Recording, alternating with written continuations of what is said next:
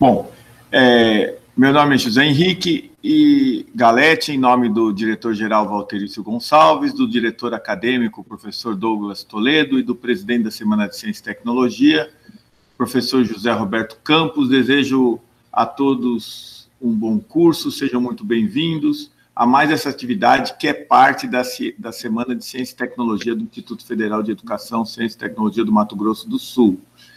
Essa programação está contida dentro da programação organizada pelo campus de Três Lagoas e tem como seu principal objetivo o estímulo do interesse dos estudantes, da sociedade em geral, pelo desenvolvimento da ciência, tecnologia e inovação. Informamos que essa apresentação está sendo gravada, pedimos aos ouvintes que permaneçam com os microfones e câmeras desligados. As perguntas pelo chat serão armazenadas, serão disponibilizadas ao palestrante no momento que ele solicitar. Comentários com teor ofensivo, impróprio, conteúdo de publicidade, qualquer tipo de propaganda serão removidos, dada a natureza da entidade pública que a gente representa. Todos os participantes devem ter feito a sua inscrição no sistema do, da Semana de Ciência e Tecnologia do IFMS 2020 e deve confirmar essa presença até o final da, da apresentação, para receber o certificado de participação. Então, além de ter feito a inscrição, tem que também, no final da apresentação, é, confirmar a presença no, no link que será disponibilizado no chat. Além do certificado de participação, os, os participantes vão concorrer a um handset no final da apresentação. Para isso, ele tem que declarar o interesse. Por quê? Porque os interessados em receber o handset vão ter que retirá-lo no Instituto Federal do Mato Grosso do Sul, na cidade de Três Lagoas.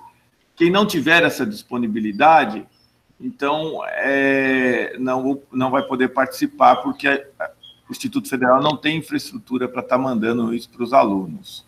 Então, quem tiver no final, declara o seu interesse em participar da premiação e participa do, da, do sorteio que será feito ao final. Hoje nós agradecemos a participação do Henrique Suzuki, que é sócio fundador da Exonal, consultoria tecnológica, titular da cadeira número 2 da Academia de Ciência Farmacêutica do Brasil, tem formação na área farmacêutica, é, da Academia Nacional de Farmácia, a, a CFB, ANF, e associado à BPI e Fortec. É co-criador de um dos designers brasileiros mais premiados no mundo em 2014. Participou da redação de uma das patentes que mais rendem royalties para as universidades no Brasil. Desde a década de 1990, tem se dedicado a disseminar conhecimento sobre propriedade intelectual, inovação e uso estratégico das informações tecnológicas.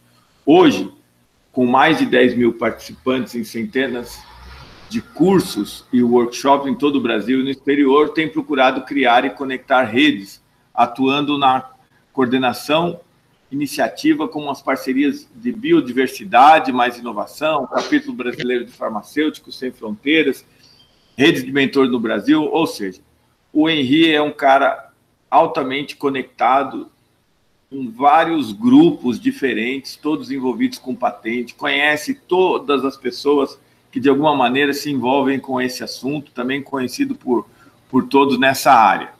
Além do que ele colocou aqui como uma apresentação, eu vou falar que ele também é depositário de uma das patentes mais didáticas que eu conheço. Talvez ele mencione isso na apresentação, mas ele fez um, um depósito de patente com um teor didático bastante interessante.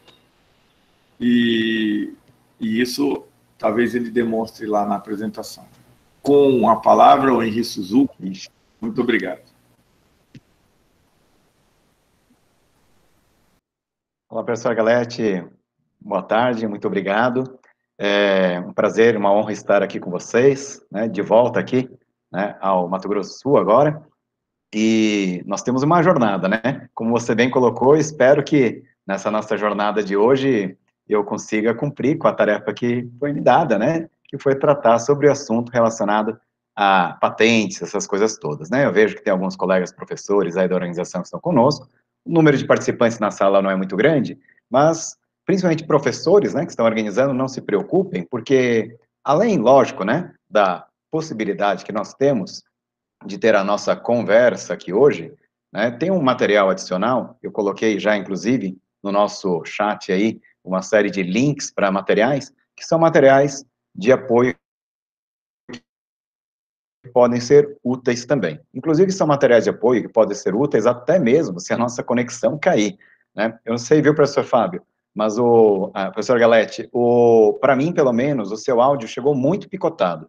E antes de seguir adiante, eu só queria ter certeza que os colegas que estão nos ouvindo pudessem se manifestar aqui no chat, né, comentando se estão conseguindo me ouvir bem, né, porque pode ter um problema de conexão e a gente vai ter que fazer aí, né, alguns malabarismos para tentar melhorar. Então, o pessoal poderia, né, Samily, Edson, Edson Bortolo, Christian, poderia dar um, um sinal de vida aí, falando se estão conseguindo ouvir a gente ou não?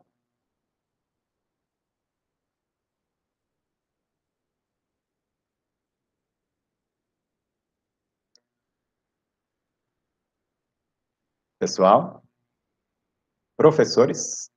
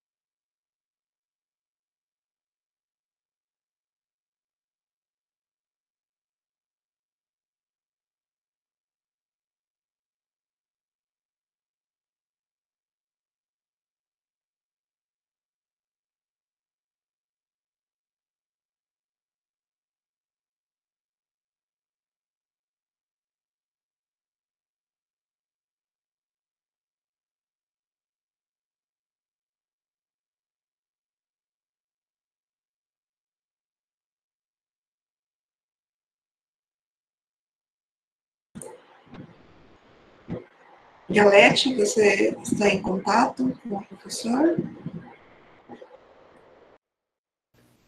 Não, eu acho que a conexão dele caiu. É, ele deve estar voltando. O, aproveitando, é, teve alguma parte que cortou do que eu deveria falar e, e não ficou claro para os alunos? Eu escutei normalmente. Ah, perfeito.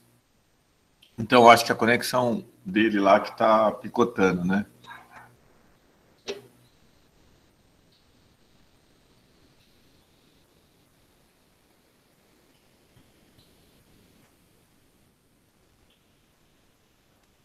Pessoal, estamos tentando retornar aqui.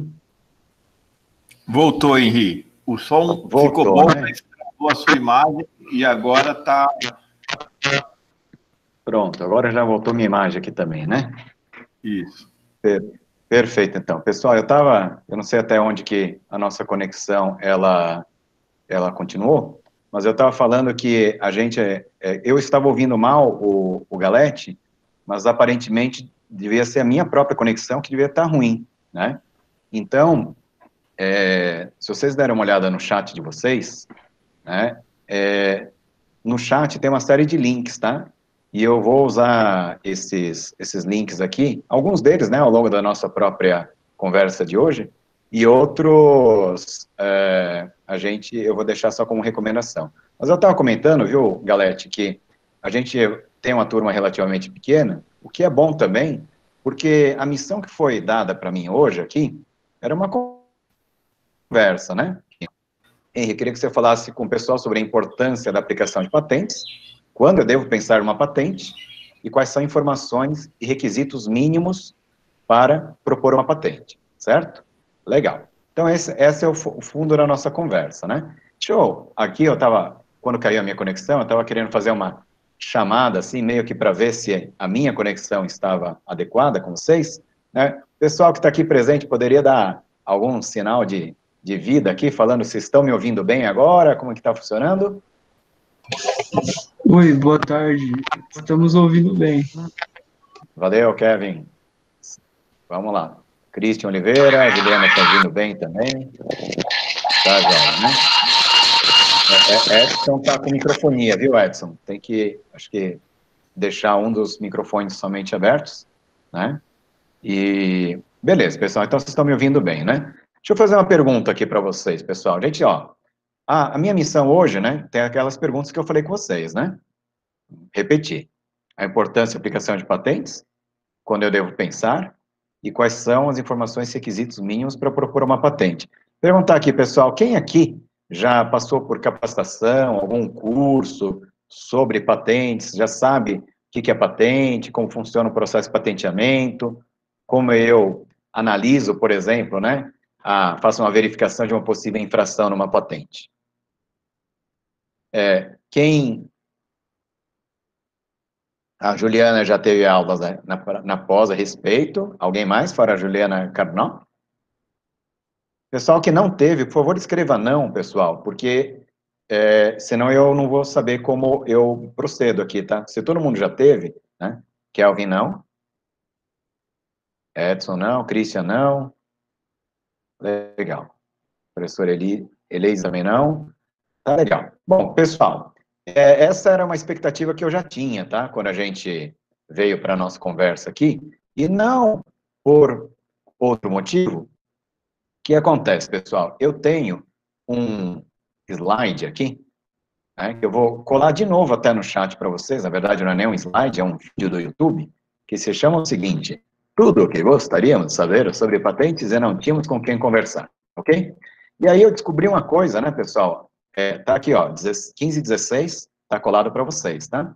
Eu descobri uma coisa, pessoal, que muitas vezes, melhor do que eu ficar fazendo uma palestra aqui, né, toda ela, né, mas meia hora de palestra, é pegar uma palestra gravada, revisada, né, com até algumas edições de vídeo ali, e usar nesse nosso universo online, tá? Então, eu vou fazer o seguinte, pessoal.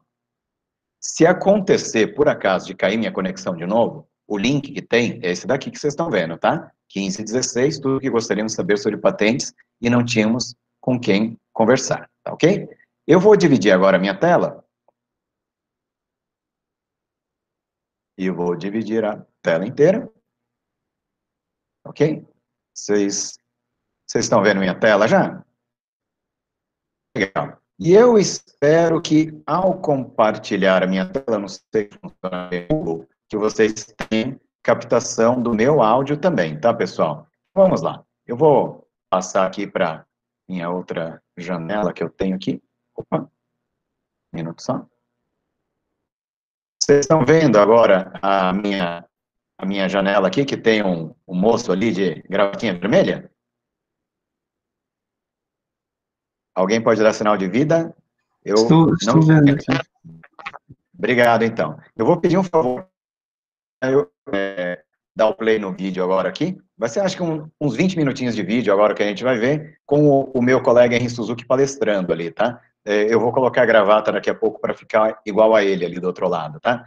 E se vocês não estiverem me ouvindo, ou se estiver dando microfonia, só peço para que me avisem logo, tá bom? Vamos lá? 3, 2, 1. É patente, é patenteável, não é patenteável, como é documento de patente, como ele de código de proteção e como é o processo de patenteamento. Vocês estão me ouvindo bem, pessoal? Número 1 um aqui, que é patente definição de patente diz o seguinte: patente é um título de propriedade que confere ao seu titular o direito de impedir o terceiro de explorar essa invenção em determinado território por um limitado período de tempo em troca da descrição da invenção. Então, mas ninguém merece ter que engolir um conceitão desse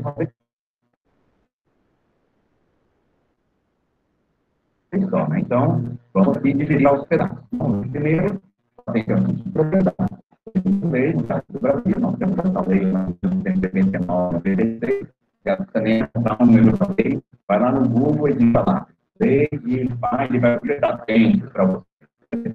Clicou ali, vai aparecer patente poder ter modificações posteriormente a 95. Comentário geral sobre a questão da lei de patentes no Brasil, é bom para a contribuição com lei por conta de tratado internacional. Então, muito eu vou conversar com vocês sobre a lei a outros países também. Existe alguns verdade, mas uma boa parte, vamos ver, a essência que a gente vai conversar hoje, temos critérios, uma série de coisas, elas são, são relativamente é, comuns, comuns entre várias Um outro comentário que eu faria aqui é que a prática né, toda de, de patentes aqui no Brasil. É, pessoal, só para confirmar aqui, tá, tá chegando baixo o som aí. É, pessoal, como eu comentei, não adianta vocês escreverem no chat, tá? Porque o Google, ele não permite que você faça a visualização.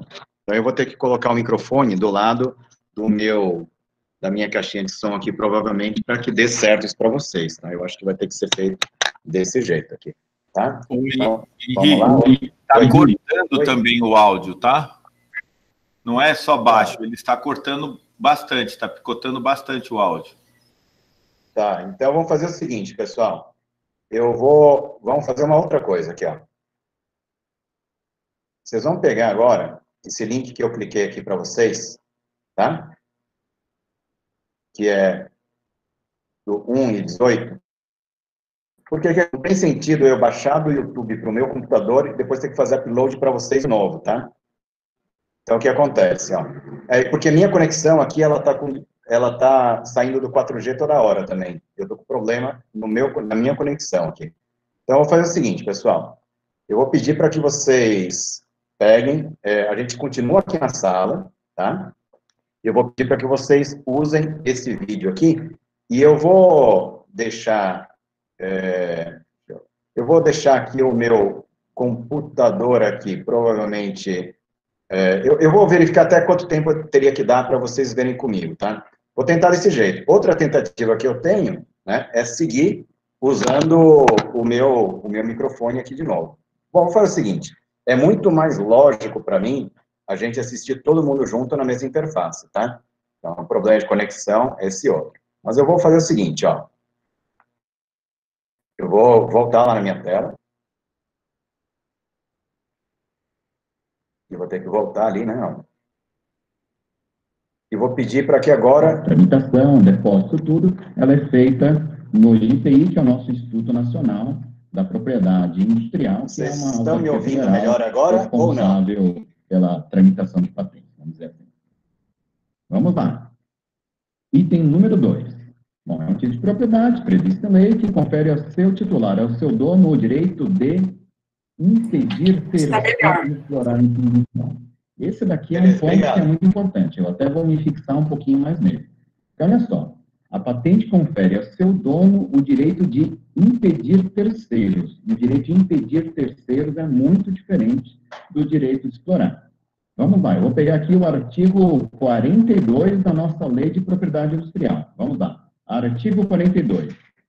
A seu titular o direito de impedir terceiros, seu, seu consentimento de produzir, usar, colocar à venda, vender ou importar com esses propósitos o produto objeto de patente, processo produto obtido diretamente por processo patenteado. Está vendo aqui, ó, o direito de impedir terceiro. É bem diferente do direito de explorar. Se vocês fossem no capítulo de marcas, aqui no artigo de marcas, vocês veriam assim, a marca registrada confere ao seu titular o direito de uso exclusivo da marca.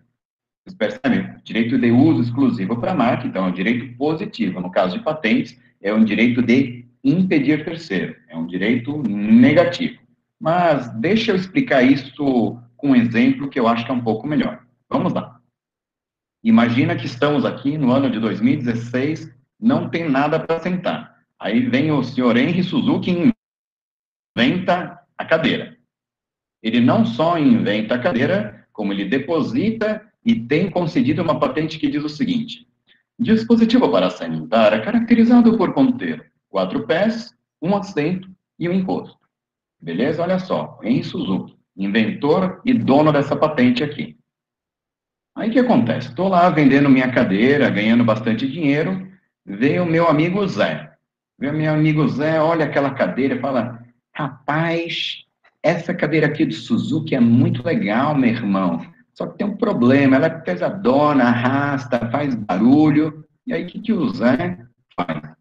Ele inventa colocar uma rodinha debaixo de cada pé da minha cadeira ali. Então, quatro pés, quatro rodinhas, e aí o Zé deposita e tem concedida uma patente que diz o seguinte: dispositivo para sentar contendo pelo menos um pé e um assento, caracterizado por conter pelo menos uma roda debaixo de cada pé.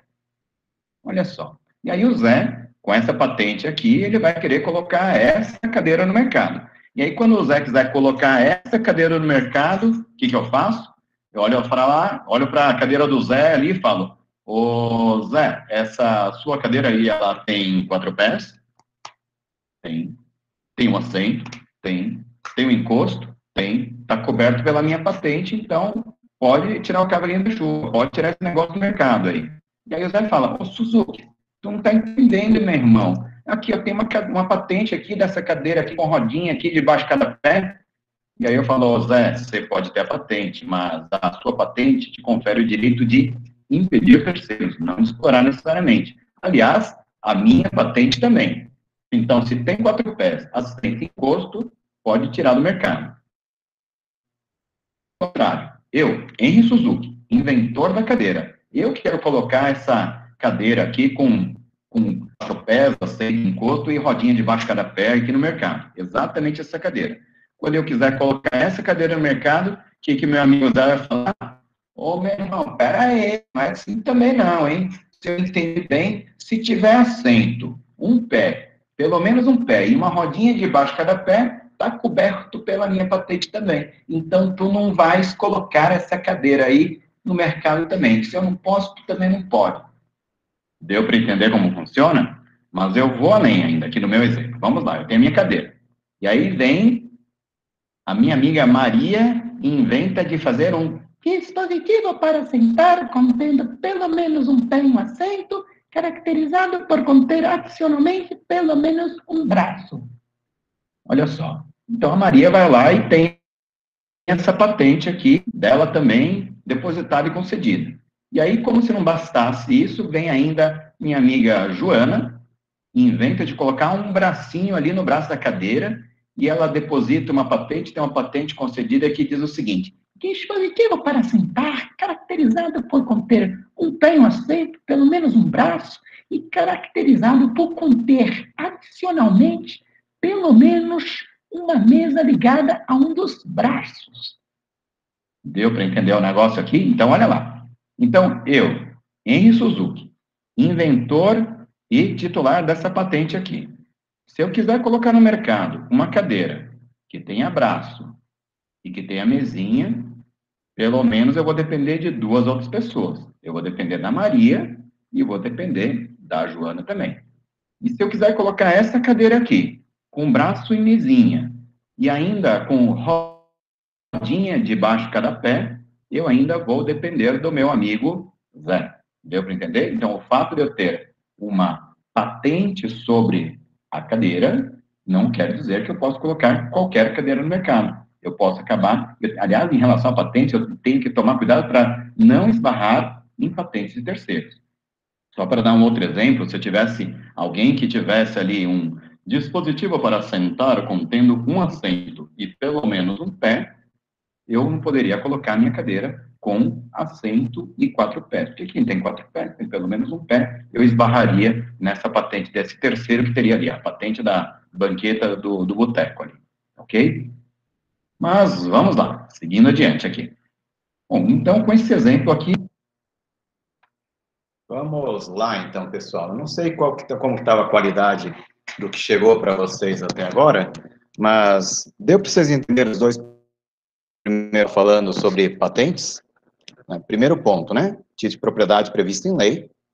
A gente tem uma lei de propriedade industrial que cobre né, patentes de invenção e modelo de utilidade.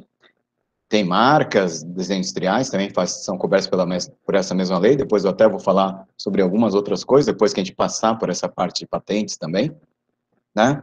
E uma coisa muito importante, né, que a gente fala sobre patentes, né, é o seguinte, patente é para impedir terceiros, tá?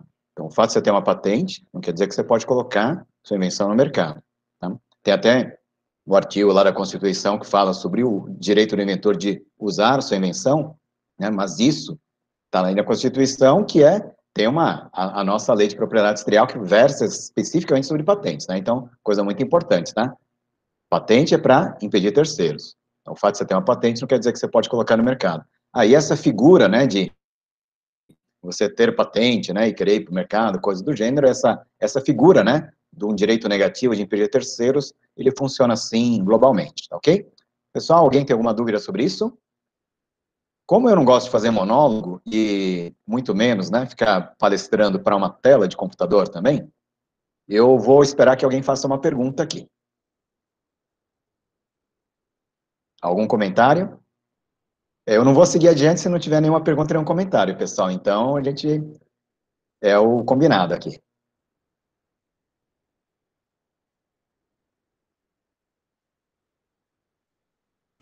Pessoal, vocês estão me ouvindo? Henrique. Pois não. O, o senso comum é que você sendo dono de uma patente, você tem algo que seria como uma propriedade, né? Você está nos dizendo que ela, na verdade, vai possibilitar que eu impeça outra pessoa de produzir aquilo que eu inventei e patenteei. É isso mesmo? É isso. É, na verdade, a sua propriedade não é propriedade de uso é de impedir o uso. Deu para entender? Porque o senso comum, e às vezes até você lê em sites, né, que são sobre, sobre propriedade intelectual, essas coisas todas, você tem a impressão que você pode usar aquilo. Você pode colocar no mercado. E, na verdade, é o negativo, você pode impedir. E esse exemplo que eu dei da cadeira, é, que acontece? Espero que tenha ficado claro para vocês que os outros também podem ter patentes e os outros também podem nos impedir. E aí eu volto, né, para uma das primeiras perguntas, né, que foram me trazidas aqui, né, para fazer essa nossa conversa de hoje. Qual é a importância da aplicação de patentes? Aplicação de uma ferramenta para impedir terceiros. Né? Então, a importância que tem é a seguinte: você criou alguma coisa, você aprimorou alguma coisa, aquela, aquele, aquela sua criação, aquele seu aprimoramento, ele é considerado suficientemente inventivo, você resolveu um problema técnico de forma técnica, de forma nova e não óbvia. A gente já vai ver os critérios de patenteabilidade já já, tá ok?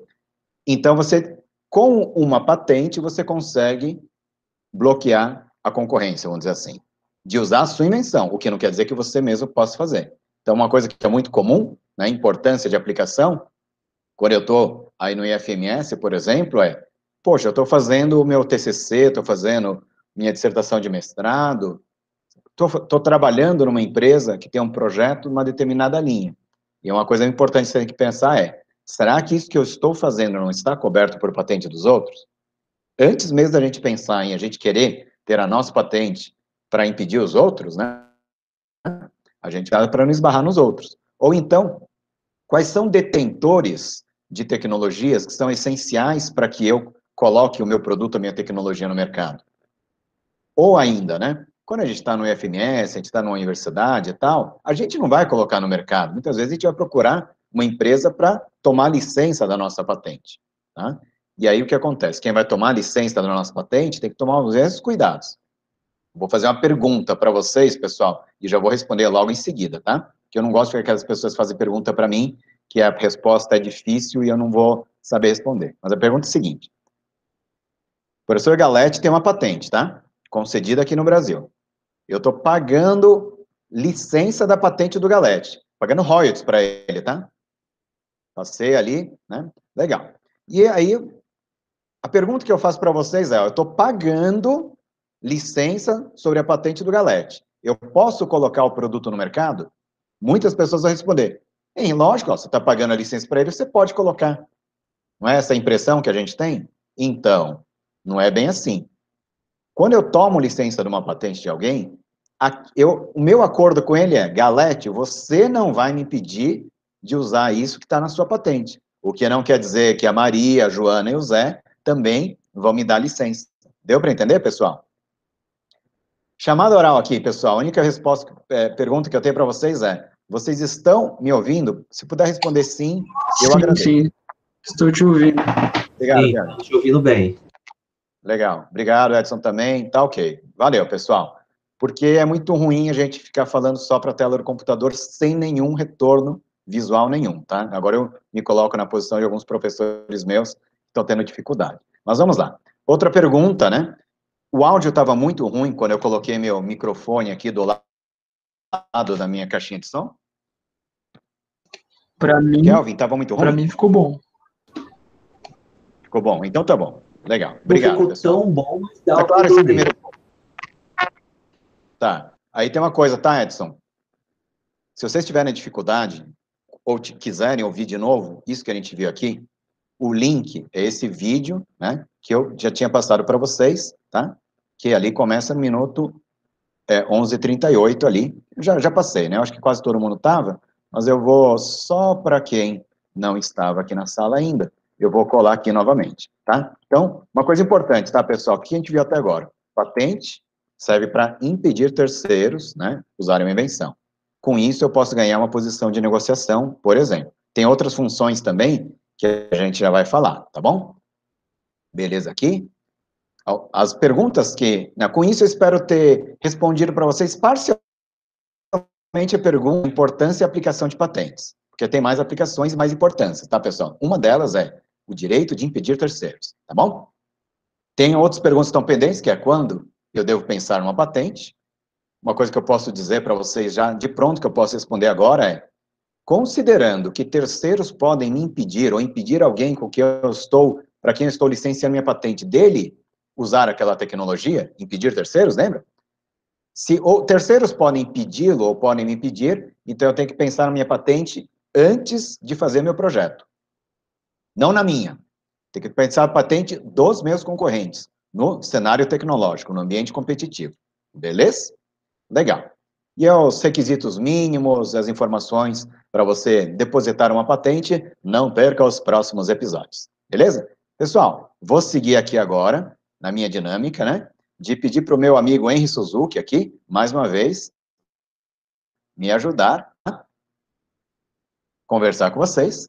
E a gente já vai chamar o senhor Henry Suzuki aqui para compartilhar minha tela. E ele vai continuar a conversa com a gente lá no nosso YouTube. Eu vou até passar o microfone para o Henrique Suzuki agora aqui também. Vamos lá. Senhor Henrique, por favor, a palavra é com você, então.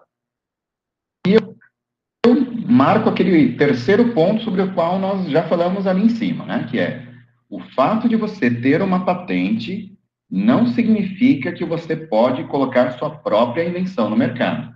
Por quê? Você pode até ter uma patente, mas se alguém tiver uma patente que cobre os componentes da sua invenção, aquele terceiro também pode te deixar fora do mercado. Ok? Essa é uma coisa muito importante. Talvez os conceitos mais importantes que eu teria para conversar aqui com vocês hoje em relação a essa história de patentes. Ainda em relação a patentes, tem a questão da territorialidade, então. Beleza, pessoal? Vocês viram, né? O Henrique falou ali, ó. Questão de né, impedir terceiros e tomar cuidado com patentes terceiros. Tranquilo? Agora a gente vai entrar em alguns outros pontos aqui que são. Oi. É, e se é, a manifestação do, do, da pessoa que é dona da patente, se ela não acontecer, vamos, vamos supor, eu, eu pego, lanço um produto com a patente que tem partes que, que a sua contempla lá, e vou Sim. vendendo, vou vendendo, vou vendendo. E se acontecer da pessoa descobrir lá na frente, ela tem direito de requerer algum, algum, algum pagamento, por exemplo, o dono da original lá tem direito de requerer isso? Tem sim, Edson. Obrigado pela pergunta, tá? O que acontece, pessoal? A gente vai ver que como funciona o processo de patenteamento, tá? O processo de patenteamento, ele tem várias fases, né? Você faz um depósito, ela vai passar, por exemplo, formal, depois do exame formal, ela fica em sigilo por um tempo. Normalmente ela é publicada por volta do mês número 18. A gente vai ver isso tudo, tá, Edson? Tá? Ela vai ser publicada no mês número 18. E a partir da data que tem a publicação, de um pedido de patente, o titular né, daquele pedido de patente, ele tem uma expectativa de direito, que é o seguinte, se essa patente for concedida mesmo, você vai ter direito de obter ressarcimento financeiro, né, de terceiros que eventualmente tenham utilizado a sua patente, né, desde a data da publicação da sua patente até a data ali que, é, que, como se diz, a partir da data que você tem a publicação, você já tem essa expectativa de direito. Se um terceiro, um ano depois que publicar no seu pedido de patente, né, ele vai lá e começa a explorar aquilo, o que, que normalmente você faz, tá, Edson? Você vai lá e notifica o cara falando, ó, eu tenho um pedido de patente, se ele passar, eu vou querer ressarcimento, tá? Quando são grandes, grandes empresas, eles usam até ferramentas aí jurídicas, né, para medidas é, cautelares, né, tipo liminar, coisa do gênero, para deixar a concorrência de fora também, tá? Tem várias formas do titular fazer isso. Uma delas, né, são essas medidas cautelares que tem. Legal.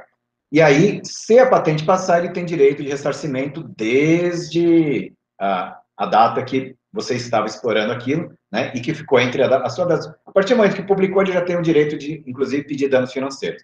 Agora eu vou para a parte mais importante da sua pergunta, né, que é o seguinte: e se ele não fizer nada? Nunca, né? Não fez. Né? Então, a patente confere ao seu titular o direito de impedir terceiro. Se o titular não se valer do seu direito de impedir terceiros, né? Então, em princípio, você não vai nunca nem saber. É quase que assim, ó. Eu, eu costumo falar, viu, Edson, que patente é que nem campo minado, sabe? É, num campo de batalha, tem um campo minado. Você pode passar com sua tropa lá do, a, a dois passos de uma mina, ninguém pisou nela. Beleza, né? Escapamos. E, mas o que, é, o que não quer dizer que ela seja um risco, né? Então, é, na prática, o que acontece? Né? Vamos voltando, né? Quem tem o pedido de patente é uma expectativa de direito. O que, que é o recomendável? Ficou sabendo que alguém vai tá, tá infringindo o seu potencial pedido, né? Ele é pedido, não foi concedido ainda, né? Você vai lá e faz uma notificação extrajudicial para ele. Muitas vezes faz notificação em cartório, tem uma série de formas de fazer essas notificações, né? Para ter certeza que o cara foi notificado, sabe? Beleza. Então não tem como ele falar que não estava sabendo. Né? E aí, outra coisa que você costuma fazer quando você é titular de patente, você pede para o INPI aceleração também, da, que o INPI acelere, coloque o seu pedido de patente na fila, né, na frente de outros pedidos, porque afinal de contas você está sendo objeto de uma possível contrafação também, tá? Edson, ó, esse assunto é super complicado, né? Eu, é uma coisa curiosa que na segunda-feira agora, eu estava lá no congresso da BPI, Associação Brasileira de Propriedade Intelectual, né, num painel falando sobre uma ação de direta de inconstitucionalidade, sobre um artigo da lei que fala sobre o prazo de vigência de patentes, que a gente já vai ver daqui a pouco, né? E que falava justamente é, quais são os direitos que o titular da patente tem ou não tem antes, tá? Mas assim, vamos, vamos voltar aqui para o nosso mundo mais próximo, né? Verdade seja dita, Edson, grande parte do que a gente tem no mercado hoje tá, já está sem patente. As patentes já expiraram, ou então tem patente fora do Brasil, aqui no Brasil, pode ser que no Brasil o titular não tenha o direito de impedir terceiros, né? Por isso que a gente acaba ficando muito de guarda baixa, sabe? Pô, tem pouca patente, pouco caso judicial, né? O que não quer dizer que a gente não tem que prestar atenção. Principalmente, né, no mundo globalizado, que a gente vai fazer projeto para o mundo, né? É muito importante que a gente esteja de olho nas patentes também. Respondi sua pergunta mais ou menos? É, é complicado o assunto, viu? Né? Aliás, quem quiser saber mais sobre isso, depois eu posto aqui, né? Uma conversa que eu tive na BPI sobre ação direta em constitucionalidade, sobre vigência de patentes, inclusive sobre esses direitos aí, viu, Edson? Só mais uma perguntinha. Por favor. É, entendi que você falou. É, já vi que o negócio é meio é, enrolado mesmo. É, outra coisa, com relação à fiscalização da patente, é como, é, como que eu. É, essa questão de achar alguém que, que usou minha patente é, é, procurando pela patente, se existe uma patente de outro, ou, ou eu tenho que ficar procurando no mercado alguma coisa que está sendo lançada? Como, não, só isso que eu não fiquei muito. Beleza, obrigado pela ótima pergunta número dois, Edson. A resposta é o seguinte, ó. Quem está infringindo sua patente, ele pode nem ter patente, entendeu? Olha só, você tem uma patente, né? Entendi, entendi. Você tem a patente e eu estou infringindo sua patente. E aí eu estou lá, pirateando você lá. Entendeu? E aí que tá, você vai ter que ir atrás, ficar monitorando o mercado mesmo, saber quem está vendendo e quem não está. Por isso, Edson, que é assim, quando você tem umas invenções que são muito simplesinhas, fácil de copiar, e ali o vendedor de rua está vendendo na esquina, essas são aquelas patentes que eu falo, será que vale a pena mesmo você depositar patente sobre isso? Por quê? Porque, cara, o cara está vendendo seleção pirata lá do, do Windows, lá, ele, será que ele não vai vender, né, a tampinha de garrafa lá, coisa do gênero, né? Aí você pode falar para mim assim, é, não, peraí, tampinha de garrafa é fácil fazer. Agora, quando for aquela empresa XYZ Cola, ZKW Cola, aquelas grandes empresas, essas eu tenho como ir atrás, entendeu? Então, assim, é, respondendo a sua pergunta, quem tem que ir atrás do potencial infrator ou ficar de olho é o titular. Aí você vai falar assim, cara, então não vale nem a pena. Não vale a pena, eu não tenho como ficar monitorando isso. E às vezes a resposta é exatamente essa, Edson. Às vezes não vale a pena mesmo você ter uma patente. Às vezes não, mas às vezes dá para ficar rico, né? Se Ah, uma empresa bem grande que pegou o seu produto, lançou e vendeu milhões de. E, aí, isso, tá, captou, captou minha mensagem, né? Captou minha mensagem. É isso daí, Edson. Quando você tem uma empresa bem grande, por isso que eu falei, XYZ cola, ZKW cola, putz, você fala, cara, o que eu mais queria, você sabe que eu sou inventor, né? Então, eu sou inventor de umas tampinhas de garrafa, tá vendo? Uma tampinha de garrafa, PET, ó. Garrafa PET normal, só que ela tem essa aparência aqui, assim, ó. Não tá focalizando aí, mas ela tem uns pininhos, carocinhos assim, você monta uma com a outra assim, ó, tipo aquele bloquinho de montar comercial, tá vendo? Então, Ah, tá, dá para ver, dá para ver. Tá vendo? Em vez de você jogar fora a sua tampinha de garrafa, você monta uma com a outra, assim, ó. Tá vendo? Tem patente concedida nos Estados Unidos, na China tal. Então, se o seu Zé da cana-de-açúcar, da garapa, estiver vendendo garapa fechada com isso aqui, Edson, eu não vou nem ter como saber. Agora, se a XYZ Cola, ZKW Cola estiver usando, né? Aí você vai fazer o quê? Uma notificação a eles, tal. E você fala, ah, eu quero que esse cara tire essa tampinha do mercado. Não, não quero que ele tire do mercado. Vamos fazer negócio aqui, ó. Você está usando a tampinha, né? Acho que é legal. Só vou querer agora, né? Ter algum tipo de re- recompensa aí, algum royalty, coisa do gênero. Ou então eu posso até te vender minha patente também. Beleza? Agora eu vou te falar uma outra coisa que você foi bem perspicaz também, Edson. Eu posso saber se alguém está potencialmente infringindo minha patente, monitorando patente de terceiros? A resposta é, é assim que gente grande faz, Edson. Então, o que acontece? Eu tenho uma patente. Você vai lá, deposita uma patente e o examinador da sua patente cita minha patente.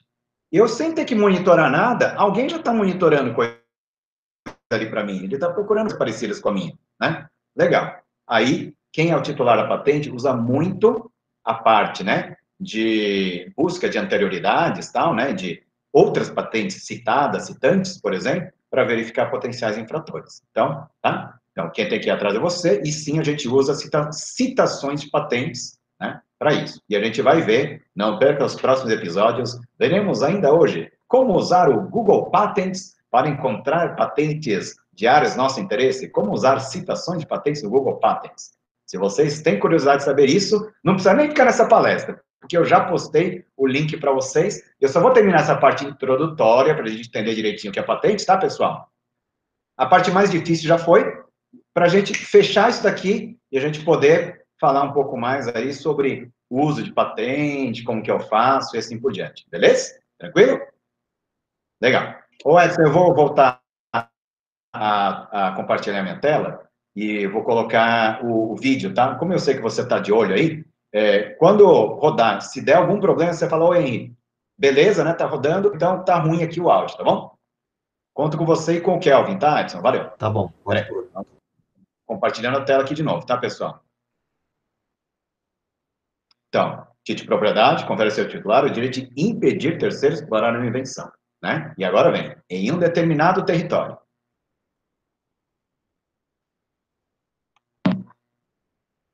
Então, em um determinado território, não existe patente mundial, não existe patente Mercosul, existe até tramitação regional, compartilhado.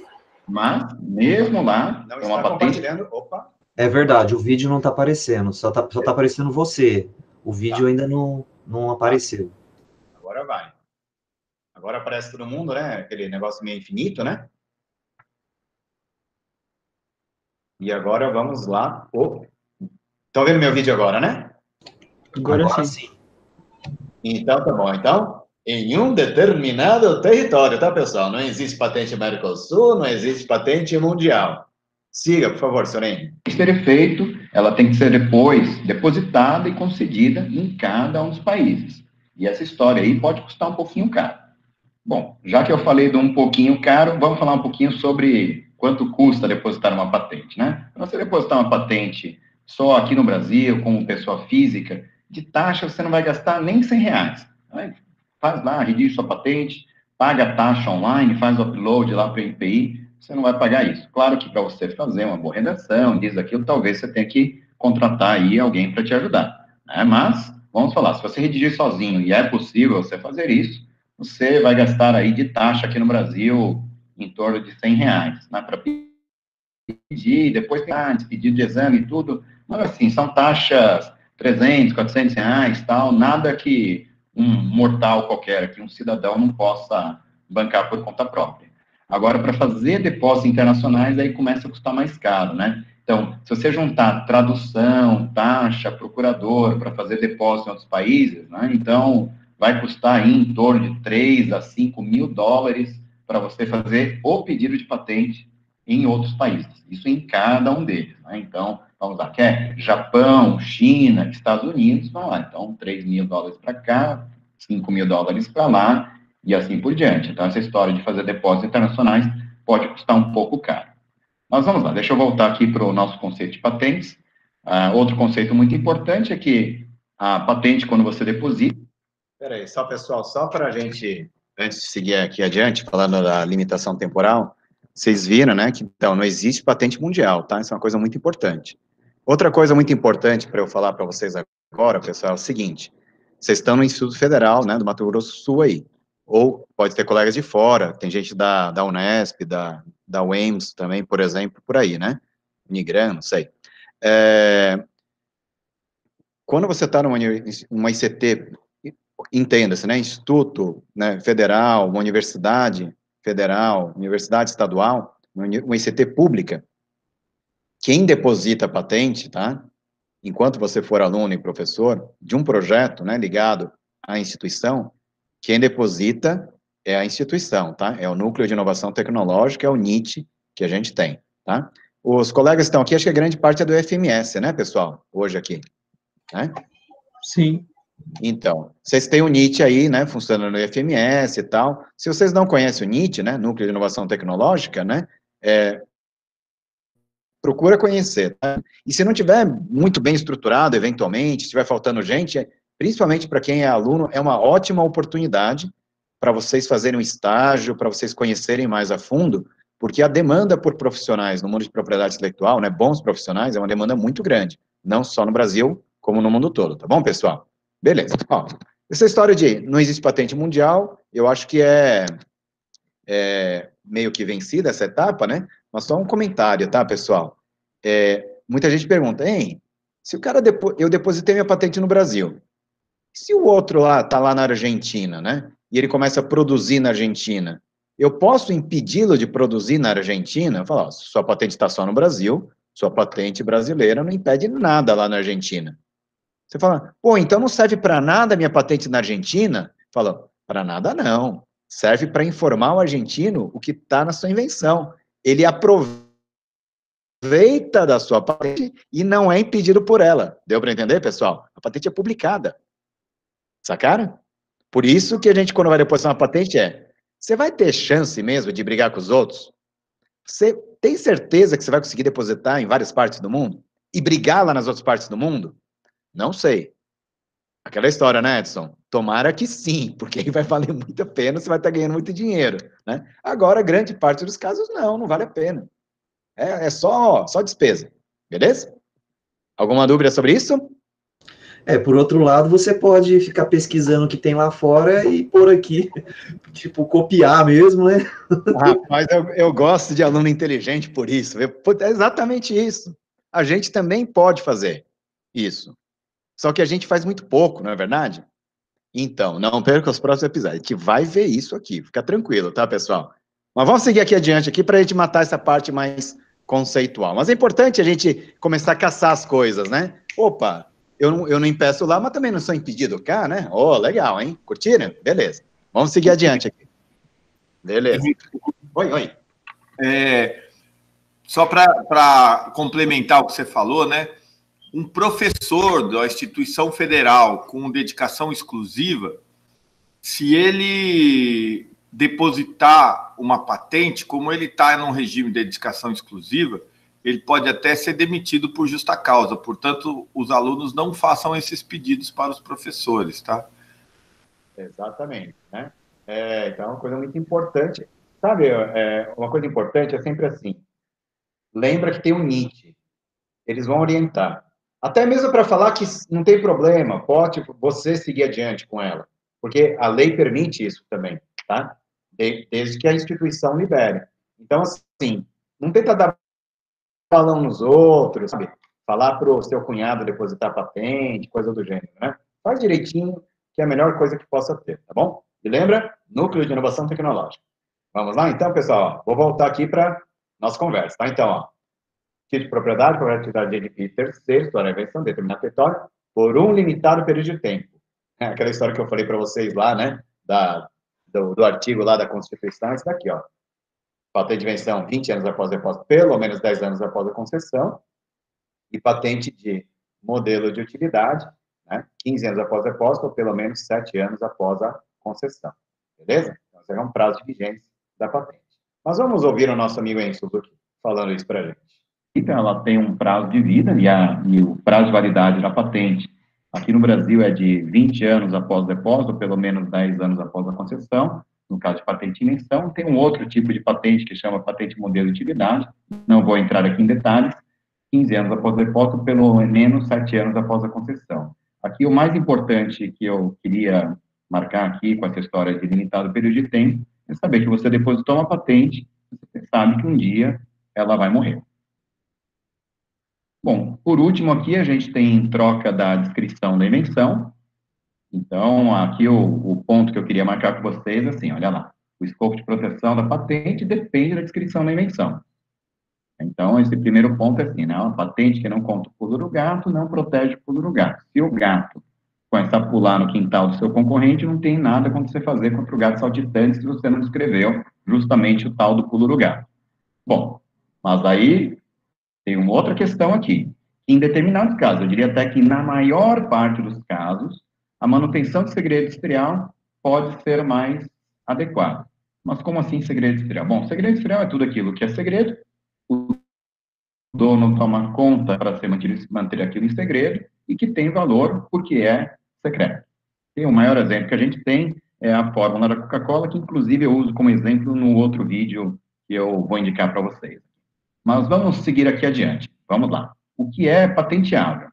De acordo com a nossa lei, é patenteável a invenção que... Opa, peraí, antes da gente seguir adiante ali, né?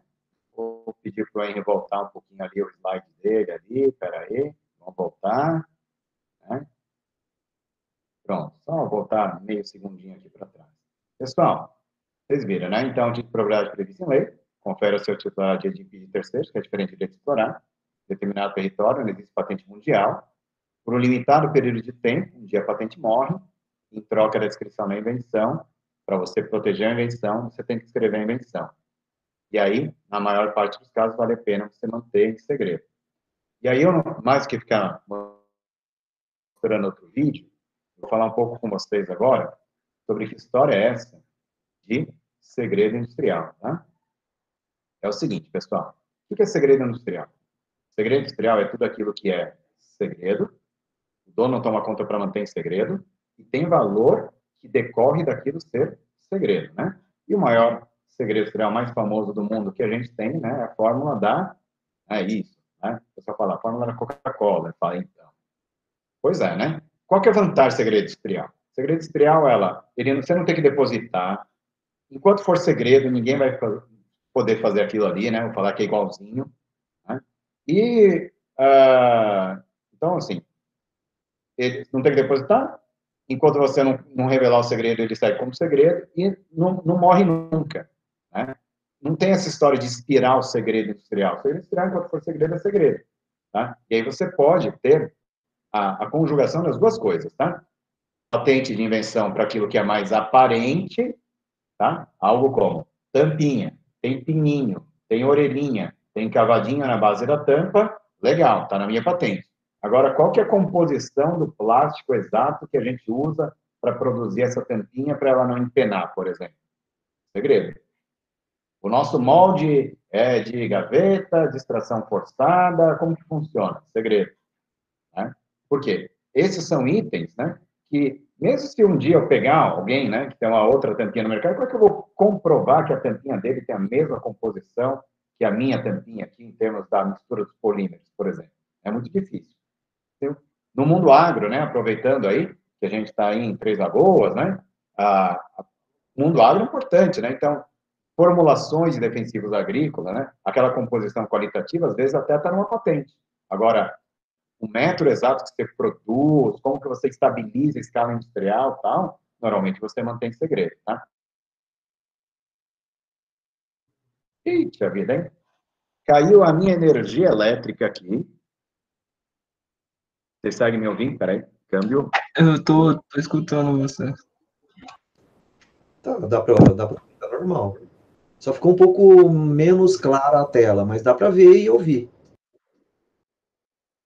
ouvir vocês, tá, pessoal? Eu vou pegar um fone de ouvido, é, mas acabou a energia elétrica aqui, onde eu tô. É incrível, né? Bom, deixa eu fazer uma coisa rápida.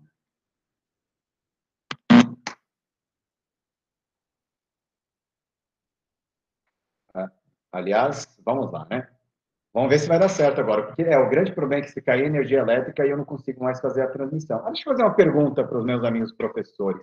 Quando a gente faz retransmissão aqui do, do, do, do YouTube, não dá para é, fazer a transmissão direta das, do, do, áudio também, direto do vídeo, porque realmente eu não preciso ficar colocando na frente da minha caixa de som, né?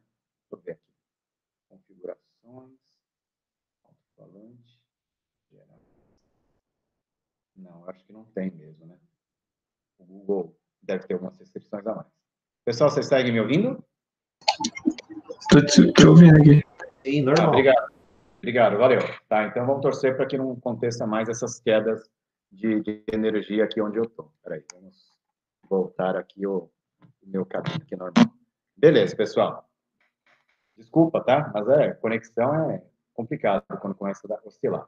Tá beleza? Então, pessoal, é, eu estava falando então da questão do segredo industrial, né? Eu acho que vale a pena, de repente, algum colega aí tem algum exemplo legal de segredo industrial para falar? Eu tenho um que é bem prático, tá, pessoal? De como a gente mantém segredo industrial. Alguém queria fazer um comentário? Ninguém? Tá, eu vou dar um exemplo aqui, tá, pessoal? Se alguém quiser, me interrompe aqui, tá? Eu, eu não estou vendo mais vocês. Aliás, deixa eu voltar para a tela que eu vejo vocês. Aliás, ah, tá aqui. Pessoal, dá um exemplo. Tem um colega meu que ele é dono de restaurante e ele é um super criador lá de receitas, né? E aí que acontece? Uma vez aconteceu de ter um funcionário dele que pediu a conta e foi trabalhar na concorrência. E a concorrência dele começou a fazer um pudim que ele produzia igualzinho dele. Por quê? Porque o funcionário sabia fazer o pudim, né? E aí ah, dá para acusar o cara, diz daquilo, tal. Cara, você for pensar, né? Você fala assim, cara, por causa do pudim, tal, diz aquilo, cara, quem vai ganhar dinheiro se eu processar o cara vai ser só meu advogado, né? Vai demorar 30 anos e de repente eu posso até ter uma ação contrária, falando que eu estou fazendo um abuso de poder, que eu estou querendo tolher um cidadão a querer trabalhar naquilo que ele tem, né? Aí você fala, pô, hein, mas como é que eu vou ter funcionário trabalhando no meu restaurante e se eles, de repente, vão pegar, roubar minhas ideias e levar para a concorrência, né? É complicado, né, pessoal? Eu falo, então, tem um jeito bem simples, sabe qual é? Codifica a matéria-prima. Não fala que é fermento daquela marca, não fala que é farinha daquela marca, não fala que você joga bicarbonato ali dentro, né? E, e nem a etapa que você joga bicarbonato, nem a proporção que você joga bicarbonato. Faz uma mistura, né? Coloca lá num pote, coloca mistura 1.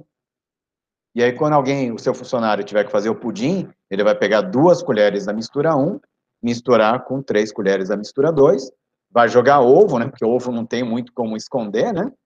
E aí vai. Vocês perceberam que dá para, com pequenas medidas assim, você consegue pelo menos proteger uma parte, né? Daquilo que é o seu segredo? Né? Então, são coisas, assim, interessantes para a gente ter em mente, tá?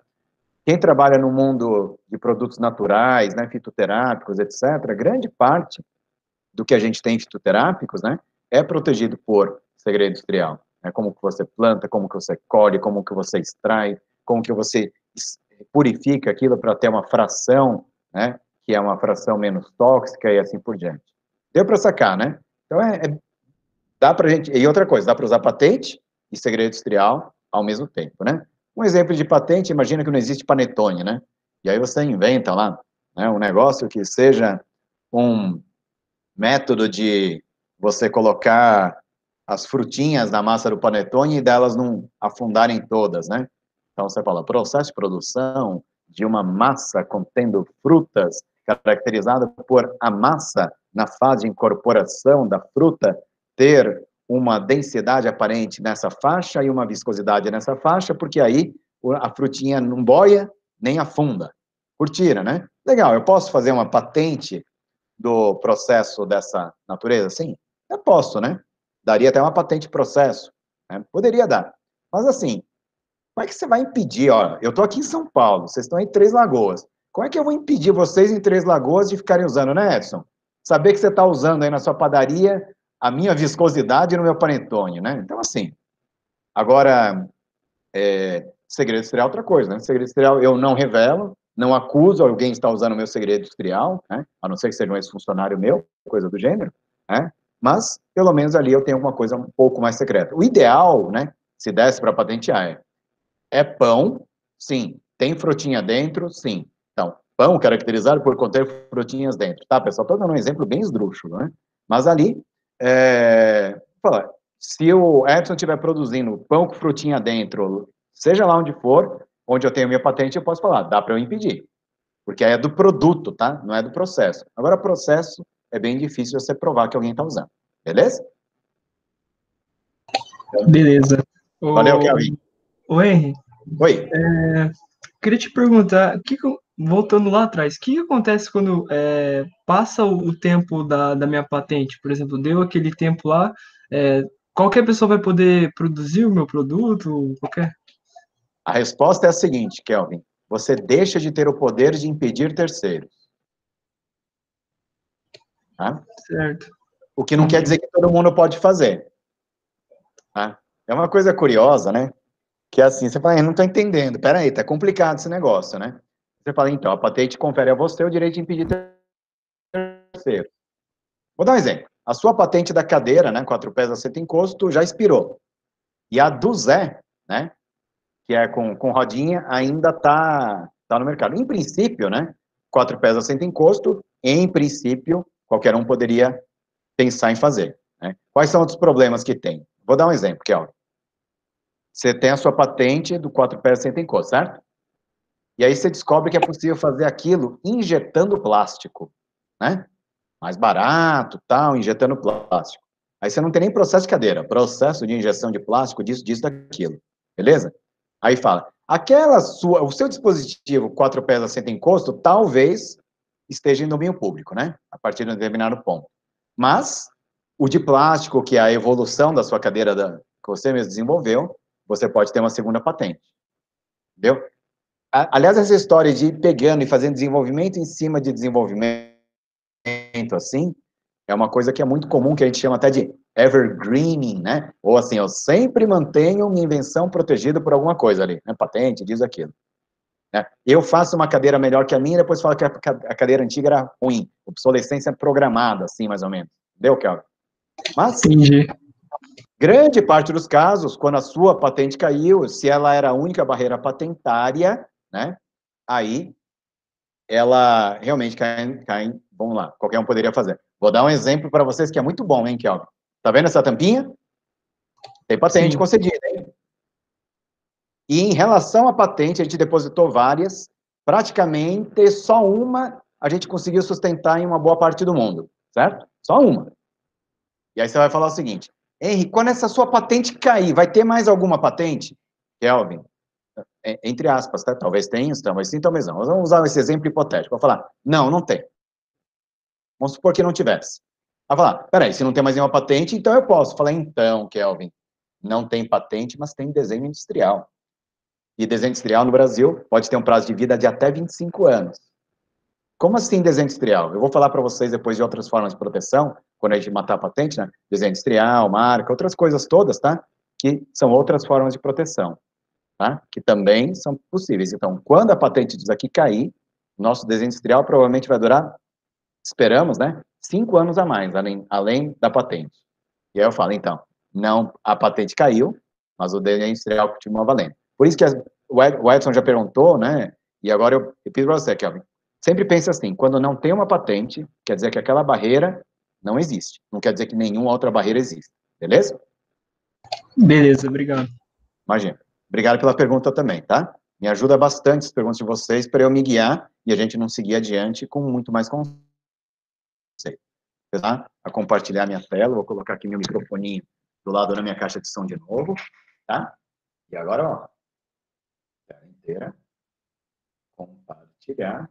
E vamos pedir aqui para o senhor Henrique Suzuki agora, né, que terminou de falar em troca da descrição da invenção, agora ele vai falar um pouco mais. Aqui adiante, vamos lá. O que é patenteável? De acordo com a nossa lei, é patenteável a invenção que atende os requisitos de novidade, atividade inventiva e aplicação industrial. Mais um conceito grandão. É patenteável a invenção que atenda aos requisitos de novidade, atividade inventiva e aplicação industrial. Vamos lá, conceito grande, a gente come os pedaços. Bom, em primeiro lugar, novidade. A questão da novidade novidade absoluta. Né? De acordo com a nossa lei, é nova toda invenção que não está contida no estado da técnica. E o estado da técnica, ele é composto por tudo aquilo tornado acessível ao público, em qualquer meio, qualquer idioma, em qualquer lugar do mundo, antes da data do depósito da patente, com algumas exceções. Em outras palavras, a novidade é novidade absoluta, não é o mérito da invenção. Se você inventou uma coisa, mas alguém já inventou antes e divulgou aquilo de alguma forma, tornou aquilo acessível ao público, mesmo que você tenha de verdade inventado, você não consegue patentear porque vai carecer de novidade. Segundo item, atividade inventiva. A atividade Pessoal, vamos lá, hein? Novidade, né? A gente voltar a falar de atividade inventiva. Novidade é novidade absoluta. Tá? Artigo em congresso é anterioridade, é, publicação, dissertação de mestrado, né, defesa de doutorado ali, está na biblioteca também, é, da técnica e assim por diante, tá? Então tem que tomar um cuidado muito grande, porque aquilo que a gente fala pode ser usado contra a gente, tá? E aí, uma coisa muito importante, grande parte das patentes que a gente tem de universidades, tal, de quem é de Instituto Federal, acaba caindo, né? Por quê? por falta de novidade em cima de publicações dos próprios inventores, tá bom, pessoal? Então tem que tomar bastante cuidado com isso. Existe uma figura, se chama período de graça, tá? Então, novidade é tudo, né? Uma, a invenção e modelo de utilidade são considerados novos quando não estão compreendidos no estado da técnica. Tá, e daí? Daí que o estado da técnica é construído por tudo aquilo, tornar acessível ao público, por inscrição escrita, oral, por uso, qualquer outro meio no Brasil ou no exterior, tá?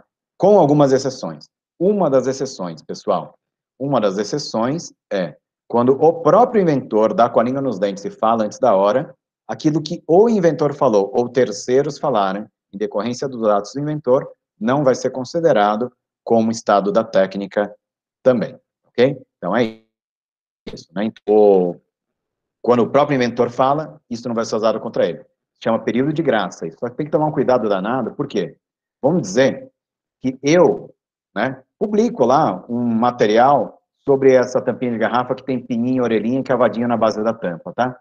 E aí o Kelvin, por acaso, sai lá uma publicação dele no jornal falando o seguinte, né? Eu, Kelvin, inventei uma coisa que é um, fantástica, um, uma tampinha que monta com bloco de montar comercial, tem pino, orelha tal, e a dele é quadrada, bem diferente até da minha, assim, de aparência, tá?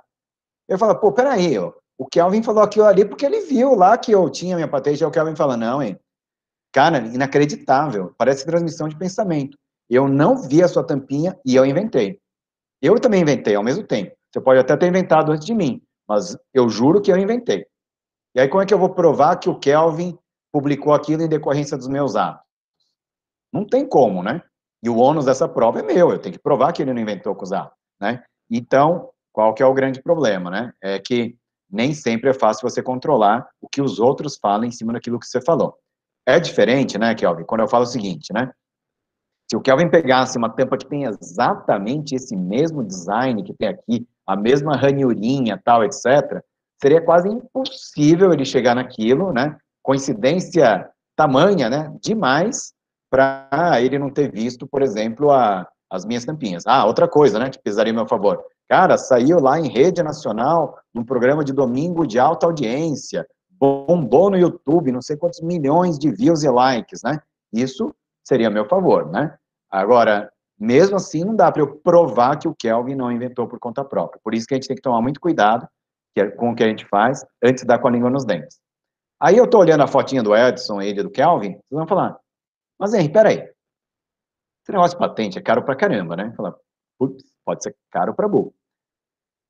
Como é que eu vou conseguir um parceiro se eu, se eu, se correr o bicho pega, se ficar o bicho come, né?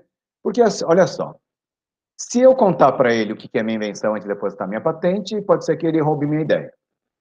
Se eu também, por outro lado, não contar para ele e fizer uma patente mequetrefe, ou então fizer, nem fizer patente, é, pode ser, aliás, se eu fizer uma patente muito ruim, pode ser que a patente vai ser tão ruim que não protege minha invenção direito. Então, como que eu faço? Então, normalmente, pessoal, quando você procura parceiro, você não procura parceiro para sua invenção. Você procura parceiro para desenvolvimento conjunto. Entendeu? É quase que assim. Você é, não vai procurar um parceiro ou uma parceira, né? Tendo que mostrar demais, assim, entendeu? Então, assim, né? É, você vai lá primeiro, né? Toma um café, conhece bem, vai morar junto, tal, ah, para aí depois pode ser que crie alguma coisa nova lá, tal, né? E aí você vai ter a sua criação. Porque quando você já né, mostra demais ali pro seu parceiro, pode ser que o parceiro até né, se aproveite daquela coisa que você mostrou demais e fala, olha, na boa, acho que não, não, não vai rolar, você merece coisa melhor que eu, tal, coisa do gênero, né? E aí você fica, muitas vezes, né, mostrou demais antes da hora, ficou na mão, né? Ou então vai ficar ali né, numa situação que você fala, poxa, não precisava ter contado tudo isso pro cara, né? É, bastava saber se ele tinha condições ou não de investir, né? Ou se ele poderia ser ou não. Ou se ele, como meu sócio, ou meu parceiro, daria certo ou não. Então, é meio que ao contrário, né? Primeiro faz a parceria, para depois criar as coisas. Mesmo que você já tenha criado, não vai sair falando tudo. Né? Cria junto, vê se rola, e aí mais para frente, no... ah, aliás, cria coisa em parceria com aval do NIT, com contrato, né, de co-desenvolvimento, tudo direitinho, para aí depois você fazer aí um processo de cocriação, ou até mesmo para você colocar na mesa uma ideia, né, que possa ser um projeto muito mais legal, tá bom? Claro isso aí, pessoal? Sim. Obrigado, obrigado, Kelvin, valeu. Então, tá bom. Então, vamos seguir aqui agora adiante aqui para os nossos próximos itens, tá? Legal.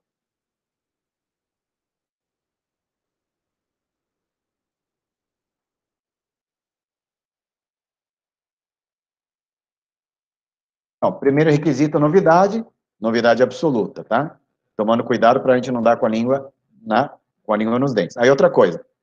Mas, Henry, não está publicado no Brasil, só está publicado na China, por exemplo, tá? Você falar, no caso de patente, é tudo trazer ao público em qualquer país do mundo, em qualquer idioma, estava na internet, estava em mídia física, né, acessível ao público, é considerado, né, como estado da técnica ali. Né? Claro que o que é acessível ao público é questionável, uma série de coisas, tá? Mas, de qualquer forma, é, fica aí a dica, né? Antes de dar com a língua nos dentes, pense em proteger ou pense em procurar o parceiro antes. E outra coisa, né? Conta um milagre sem falar qual é o santo. Né? Você, não dá para eu falar de uma tampinha como essa que vocês estão vendo aqui sem falar o que ela é. Agora, eu tenho o extrato de uma planta medicinal que tem uma propriedade tal. Qual planta, qual fração do extrato, eu só vou contar depois que eu tiver um acordo de licenciamento com o desenvolvimento. Ah, Henry, mas eu tenho um termo de sigilo assinado. Termo de sigilo é muito importante. Mas como é que você vai provar que o cara não contou para o cunhado dele, que contou para a sogra, que contou para a torcida do Corinthians lá tal? Entendeu? Então, assim, é, termo de sigilo é, é importante, é formalmente importante, mas na prática não segura quase nada, tá bom? Beleza, mas vamos adiante aqui. Então, requisito de patenteabilidade. Não pode ter sido tornado civil público. Segundo item. De verdade inventado, você não consegue patentear porque vai carecer de novidade. Segundo item, atividade inventiva. A atividade inventiva, basicamente, ela não pode ser uma invenção óbvia para um técnico no assunto, luz daquilo tudo que já existe.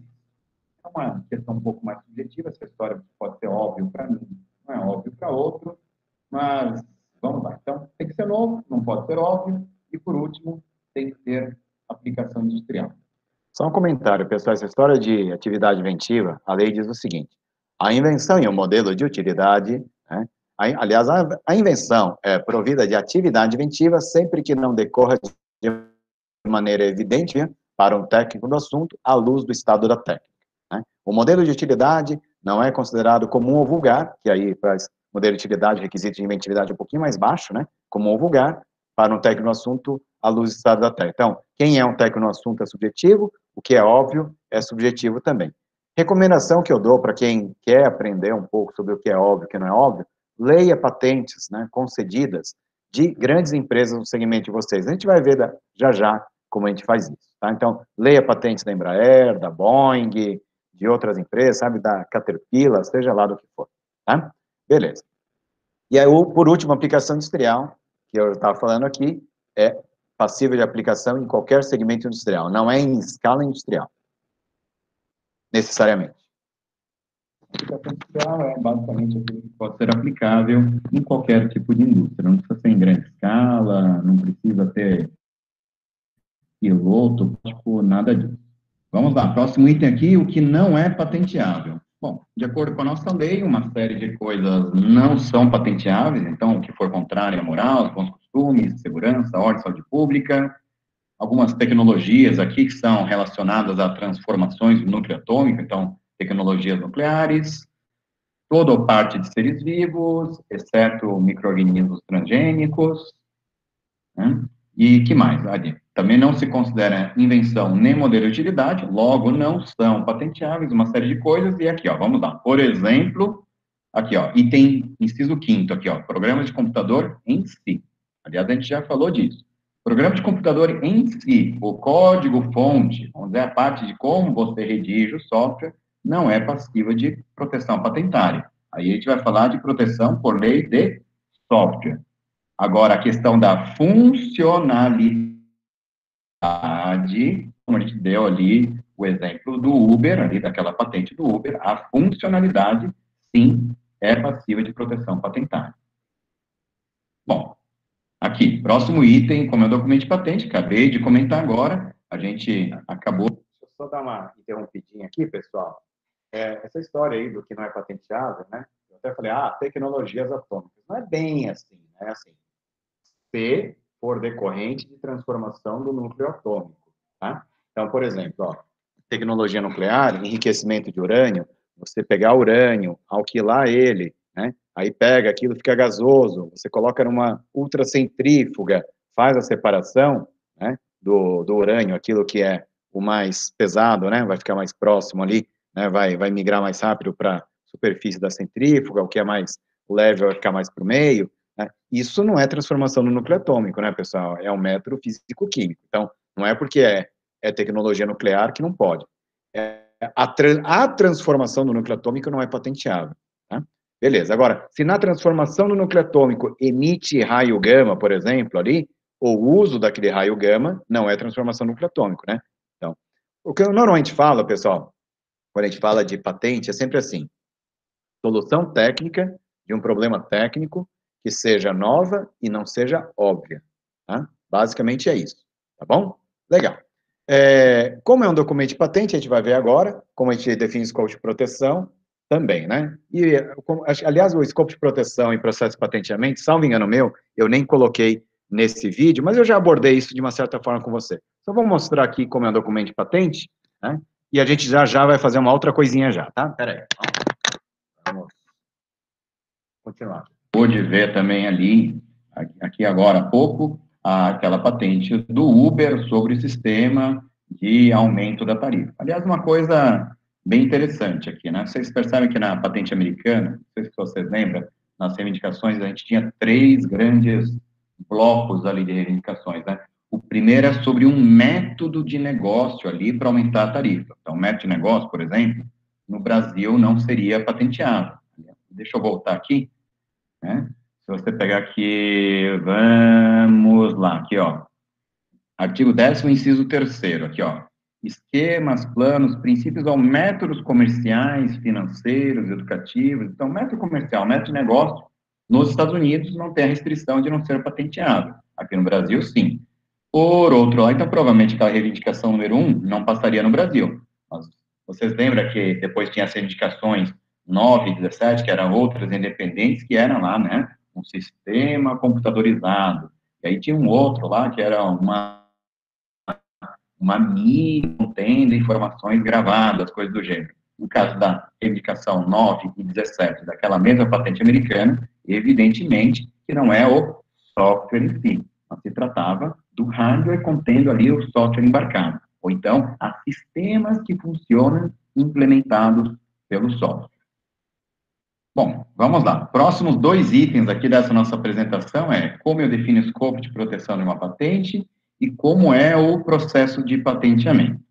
Bom, para não me arrastar muito mais né, nessa apresentação, e também porque ficar falando disso tudo em detalhe é um pouquinho mais complicado, então, deixa eu indicar para vocês aqui aquele vídeo que eu já prometi que eu indicaria antes, né, que é um vídeo que eu gravei há algum tempo, e fala sobre essa história aí de conceitos básicos de patentes, patentes, tudo que gostaríamos de conversar, e não, né, tudo que gostaríamos de saber, não tínhamos com quem conversar, e aí vai. Então, se vocês virem aqui no Google digitarem Henry Suzuki Patentes, vai aparecer aqui, ó, parte 1. Aí, ó. Pessoal, vou fazer aqui, tá? Vou abrir uma janelinha lá do Google, né? Escreva assim, ó. Henry Suzuki Patentes. Né? E aí tem um monte de vídeo ali também, né? Cadê os vídeos, né? Tomara que não apareçam vídeos aqui, né? Comprometedores sobre o Suzuki, né? Então, patentes, conceitos básicos, né? Basicamente isso que a gente viu agora, né? Aliás, o vídeo que eu indico lá é patentes conceitos básicos, que tem um pouco disso de tudo que gostaríamos de saber sobre patentes. Boa tarde, né? Tá vendo? Tá aqui tudo, né? E lá na frente ali desse vídeo... Que o técnico de desempenho, o examinador vai fazer, de acordo com o artigo 10. Né? E aí vai mais para frente, como é um documento de patente. E aí como eu faço o escopo de proteção, tá, pessoal? Tá De fato, tá? Quando você olha para a patente, você fica olhando a impressão, uh, o é, que está aqui na frente, né, que é como eu defino o escopo de proteção. Deixa eu falar um pouco aqui para vocês. Aqui. Acho que dá para a gente aproveitar que a gente está usando essa nossa dinâmica. E aí eu vou falar disso aqui mesmo. Pronto. Deixa eu puxar dois segundinhos para cá. Aqui. Tá? Peraí, vamos lá. Acho que vale a pena todos os elementos caracterizantes. Então, tem que ter lá o sistema de trava, tem que ter lá o tal do detalhezinho e assim por diante. Ok, pessoal. Então, como que eu defino, então, o escopo de proteção de uma patente? Vamos lá. De acordo com a nossa lei, a extensão da proteção conferida pela patente será determinada pelo teor das reivindicações, interpretada com base no relatório descritivo e nos desenhos. Bom, na prática, como funciona? funciona mais ou menos assim. Vamos lá. Vamos dizer que eu tenho aqui um dispositivo de apresentação caracterizado por conter uma interface de comunicação computador, um controlador de tempo e um apontador laser. Essa patente, ela cobre, ela protege qualquer coisa que seja um apontador laser como esse aqui. Tem mudador de slide, tem controlador de tempo e tem laser. Se eu colocar uma alcinha aqui a mais, um detalhe a mais, então, além disso tudo, ter um detalhe a mais. Isso não faz com que o que tem um detalhe a mais pode até ser patenteado, mas ele não foge da cobertura da patente. Por quê? Afinal de contas, um dispositivo que tem mudador de slide, relógio, laser e alça, ele tem mudador de slide, relógio e laser. Bom, não está... Beleza, pessoal? Mas aí é o mesmo exemplo que eu dei ali da cadeira, né? Como é que a gente interpreta, né? Dispositivo caracterizado por compreender A, B e C, né? Tem que ter A, B e C. Se tiver A, B, C e D, continua infringindo. Como é que eu faço para não infringir? É o que a gente vai ver aqui um pouquinho para frente. Tá claro, pessoal? Alguém está com alguma dúvida? Tranquila? Câmbio, Rio. Tranquilo. Beleza, então. Vamos lá, hein? Coberto por essa patente. Vamos lá para o finalzinho ali, grafado ali, meio em cor de rosa ali. Qualquer coisa que tenha um mudador de slide, controlador de tempo e não tenha laser, não está coberto por essa patente. Tem mudador de slide, laser, não tem relógio, também não tem. Tem só relógio? Não. Tem só laser? Não. Tá? Então, ah, é assim, se você está contido no conjunto coberto ou definido pela, pelos elementos caracterizantes da patente, está coberto. Se você não está contido, você está coberto.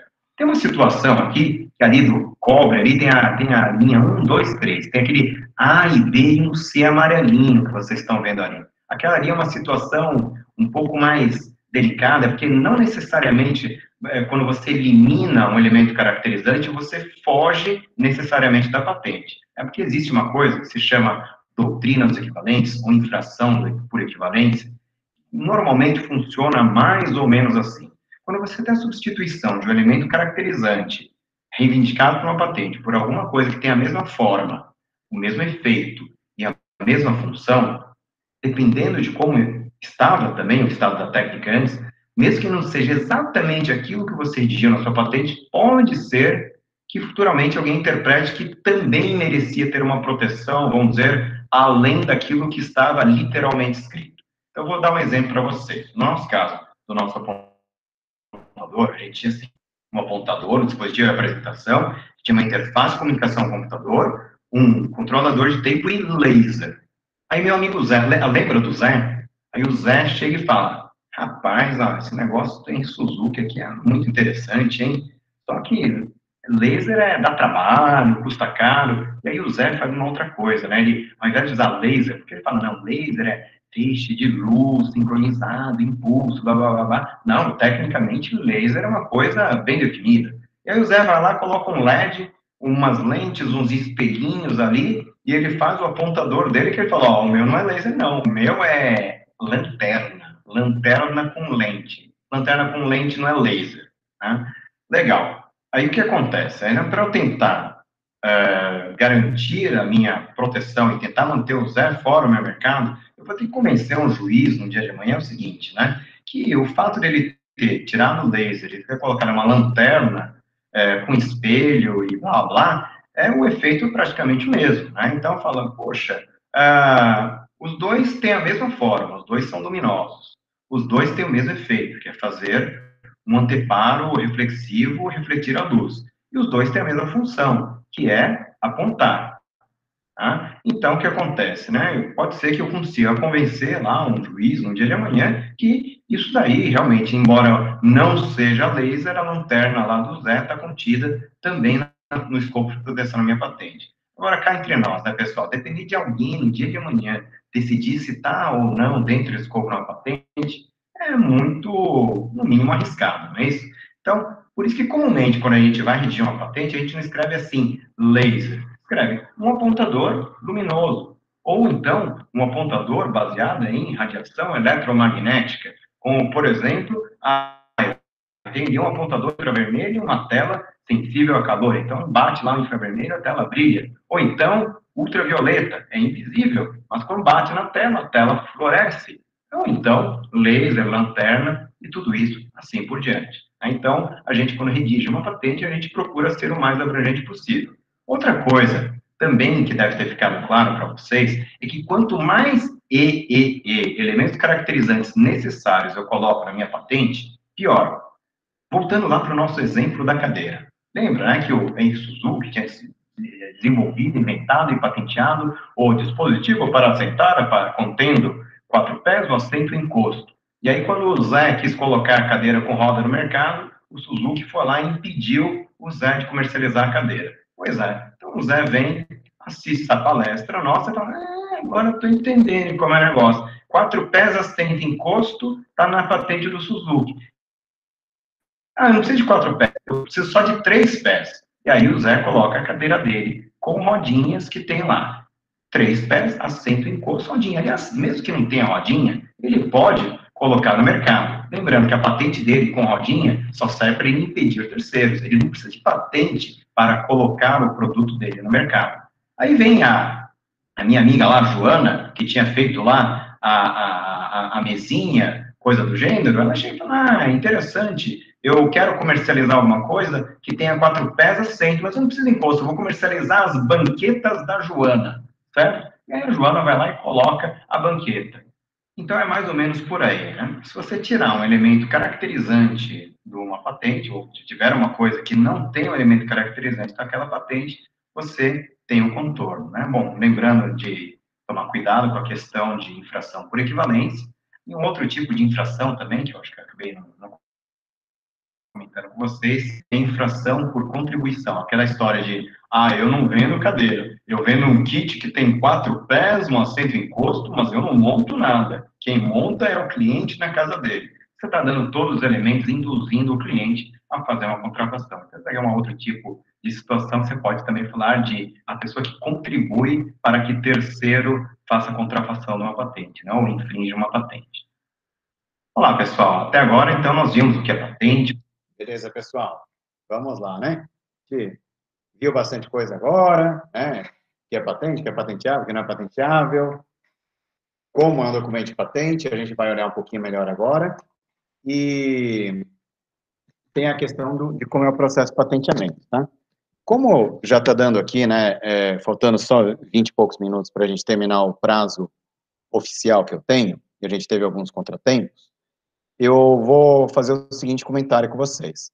Esse vídeo que eu acabei de mostrar para vocês agora, esse aqui, esse último, tá?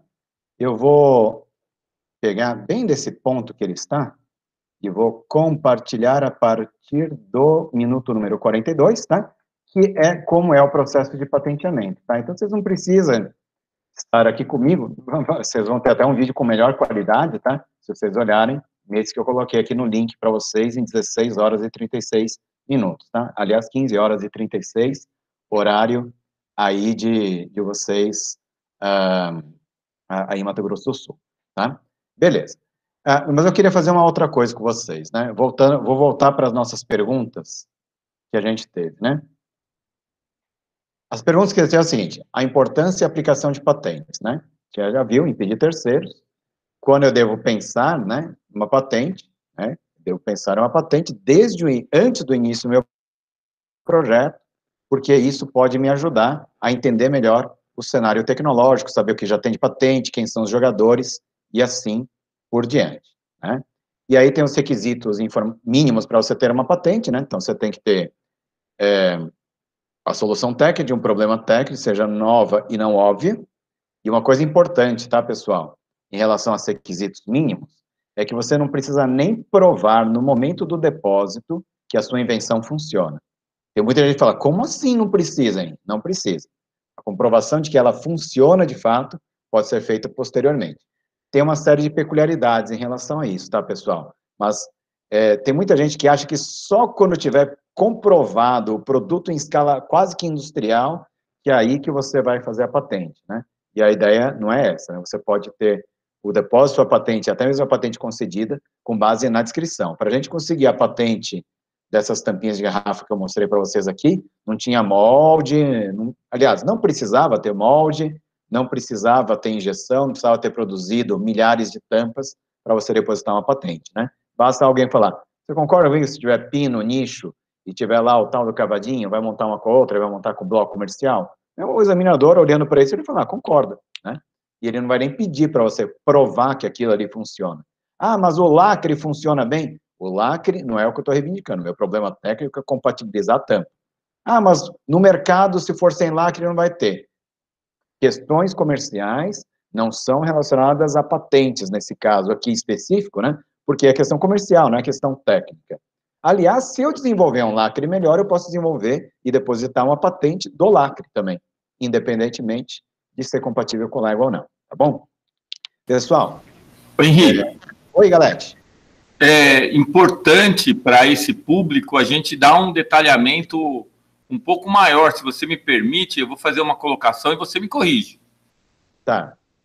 Então é o seguinte: um conjunto de alunos e professores é, tiveram uma ideia, esquematizaram uma solução para um problema industrial, e mas eles ainda não montaram o produto e nem sabe se ele vai efetivamente ter a resposta que se espera. Uma série de Sim. desafios eles ainda vão enfrentar, Sim. como é, tolerância dos componentes, verificar se, se, como é que funcionaria, potência, Sim. uma série de desafios tecnológicos eles ainda vão enfrentar. Sim. Essa, esse produto que está esquematizado, tem-se dele uma ideia clara de como ele funcionaria. Sim. E um esquema de como ele deveria ser montado, isso Sim. já é patenteável? Sim. Solução técnica de um problema técnico nova e inventiva. A comprovação que vai funcionar pode vir até depois. Isso, isso é importante para. Para todo mundo. Galete, isso é tão importante, mas tão importante, mas tão importante, que um colega nosso, eu gosto dele, vocês já sabem quem é, né? Um tal de Henry Suzuki, acabou de gravar um curso que se chama Construção de Patentes Relevantes. Verdade, pessoal. Quer ver? Ó? Deixa eu ver aqui se está aqui o vídeo. Não é esse. Não é esse. Aliás, esse aqui eu até vou deixar aqui. Mas é o seguinte, pessoal, acabei de gravar um curso sobre construção de patentes. Vou colocar até o link aqui para vocês, tá? O que é que acontece? Isso que você está me perguntando, Galete, e uma série de outras coisas tem que ser levado em consideração quando você vai fazer uma patente, tá? O assunto é tão importante, mas tão importante, que eu vou até dar uma recomendação que quem tiver interesse a mais, eu tenho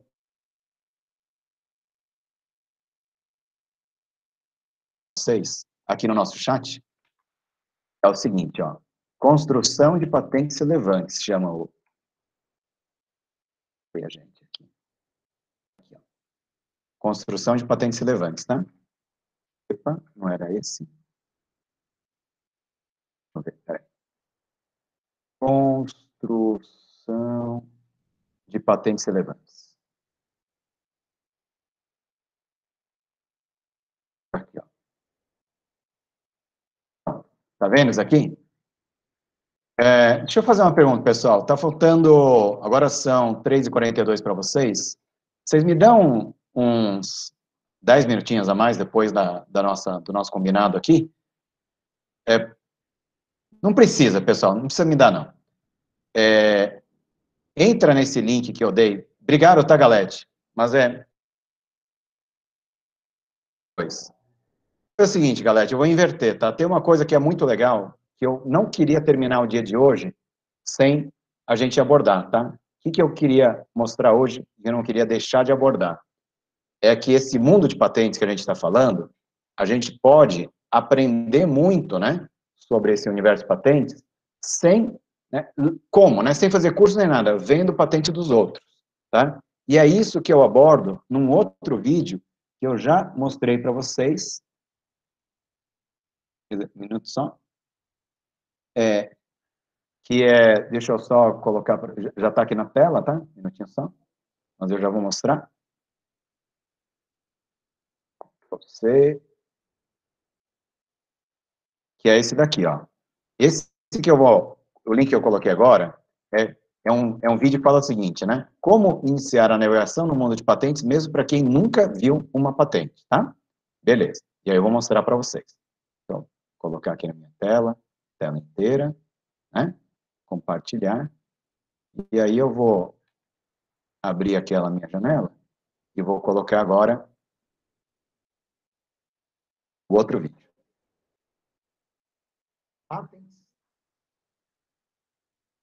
Assim, pessoal, é, opa, perdão. Eu estou fazendo o seguinte, eu estou entrando numa ferramenta gratuita chamada Google Patents, tá? Então, qual que é no Google Patents? A gente entra no Google e escreve assim, patents.google.com ou escreve direto Google Patents, tá? Então, nesse meu caso, patents.google.com, beleza? A resolução da tela está um pouco baixa mesmo, tá? Legal. Mas dá para dá acompanhar.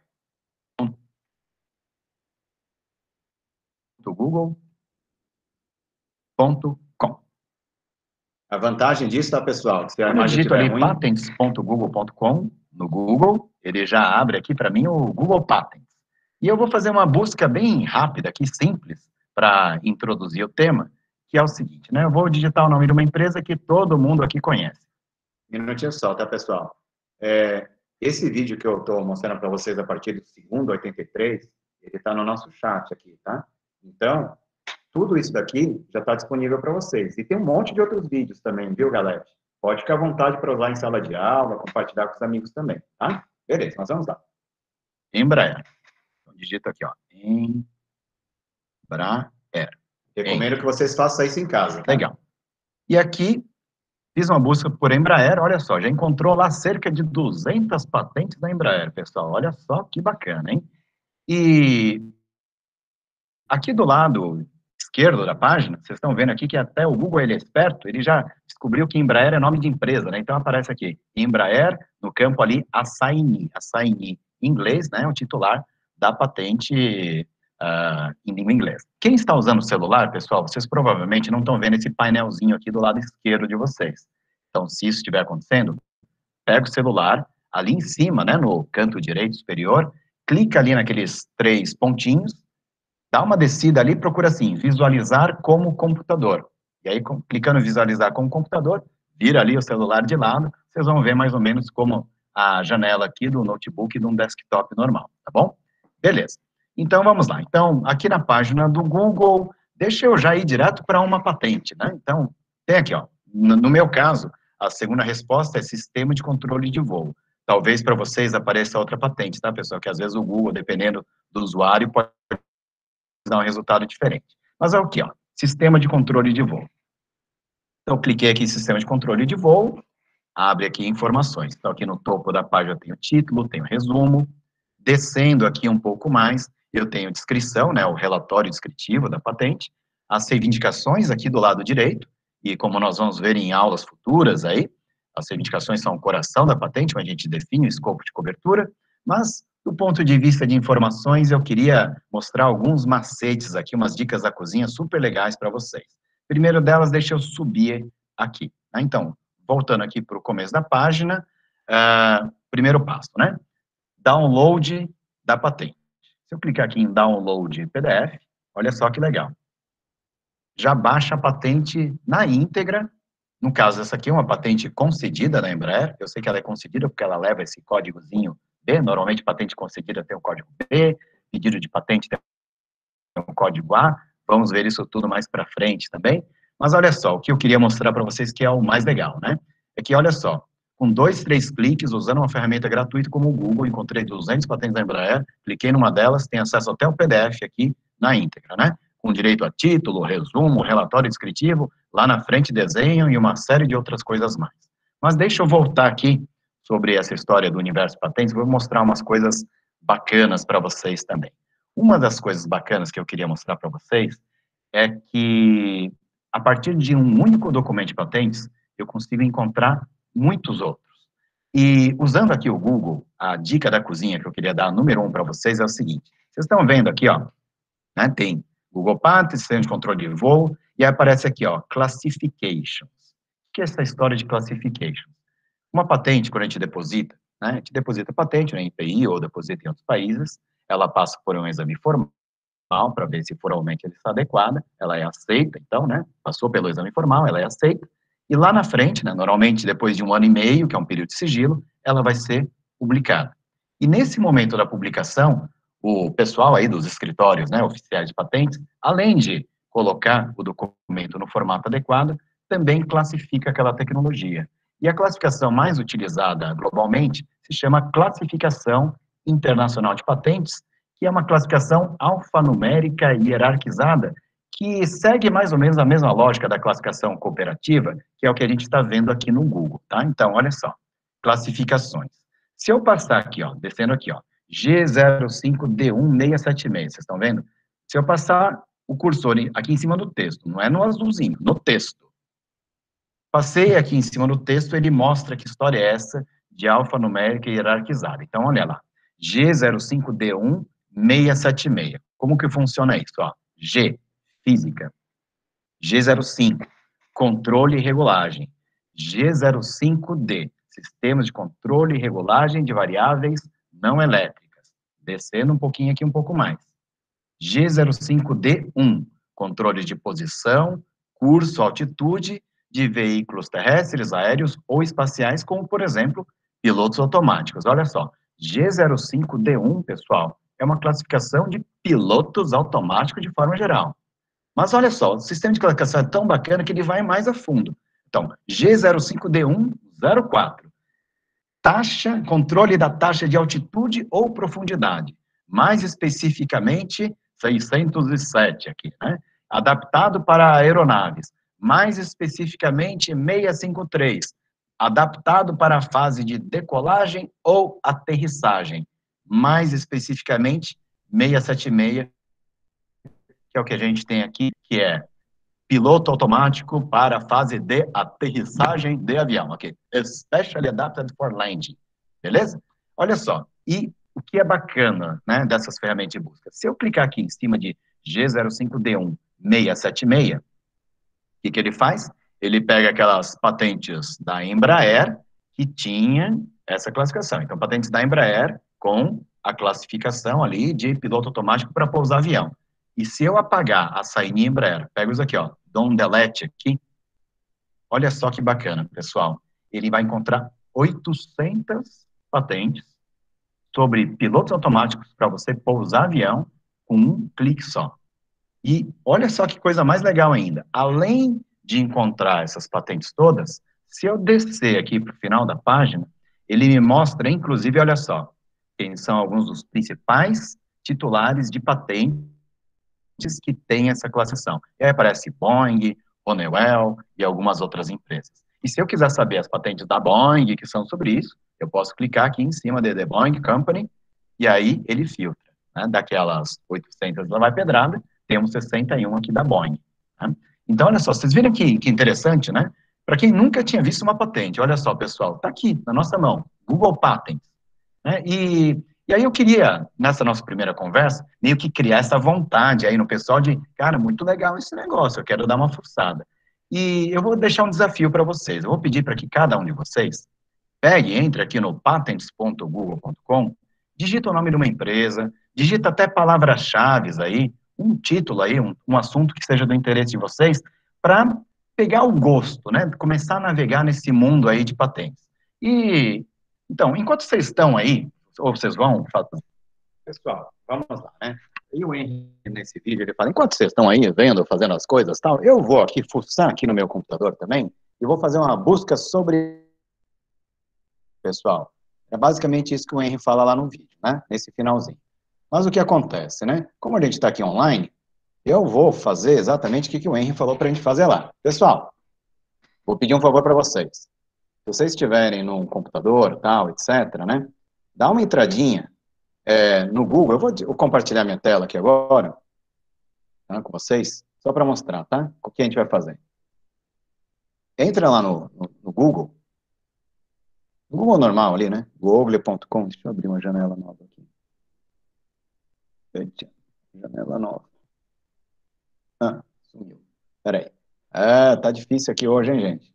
Nossa Senhora. É, Aqui em algum lugar errado. Ah, pronto, aqui, ó. Entra lá no Google, escreve assim, ó. patents.google.com E aí o exemplo que eu dava lá, se vocês quiserem fazer, se vocês puderem fazer isso, né, no computador de vocês, dá uma entradinha lá no patents.google.com e escreve assim, ó. Soccer shoe. Tipo chuteira, entendeu? Poderia até escrever chuteira direto. Chuteira. fazer uma busca por chuteira, vai encontrar vários aqui, tem coisa até estrutura áspera para chuteira, da Mizuno, por exemplo, clico nela, e aí eu posso ver que tem uma classificação que é de chuteiras, A43B5, tiro aqui a palavrinha daqui, tá? E olha só, pessoal, A43B502, chuteiras, 6 mil patentes sobre chuteiras. Impressionante, né? E é isso daí que eu tenho, né? Ali no, no material adicional que a gente tem esse que é o material adicional sobre o Google Patents. Nos materiais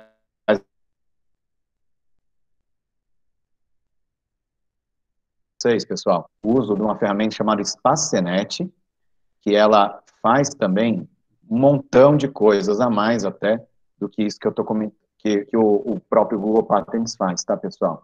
Estou voltando aqui para o nosso chat. Coloquei ali, ó, Spacenet, tá? Identificação, caracterização de parceiros. Pessoal, como vocês percebem, tem muito mais coisa que a gente poderia abordar, como que eu faço busca, conector booleano, lógica de redação, como que eu faço parceria e tal. A essa altura do campeonato, vocês devem estar falando assim, cara, o assunto é legal, mas, cara, quanta coisa tem, né, pra gente fazer. E aí eu vou agradecer o tempo que o Galete deu a mais, pessoal, para mim, e vou entrar aqui naquilo que eu falei para vocês, que era o tal do curso, né, de construção de patentes relevantes, tá, que eu acabei de gravar, ele está no forno ainda, não, não foi online, Vai ter é, as pré-inscrições já estão em andamento. É um curso que vai custar 100 reais de inscrições, né? E espero que dê para a gente rodar em todo o Brasil. Mas eu vou mostrar para vocês aqui. Deixa eu compartilhar minha tela, tá? Deixa eu só tirar aqui. Perdão. Vou fazer Ctrl C, Ctrl V, que acho que é melhor, tá? Compartilhar minha tela de novo. E o pessoal que estiver muito ocupado, tá, pessoal? O que eu vou mostrar para vocês, basicamente, é o próximo vídeo. Depois a gente vai ter um tempinho, né? Para quem tiver um tempo a mais aqui, poder a gente navegar isso daqui. Deixa eu colocar nessa janela mesmo.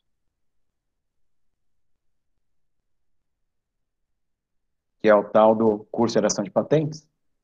Deixa eu ir pular lá para frente, que eu já vou direto para o que interessa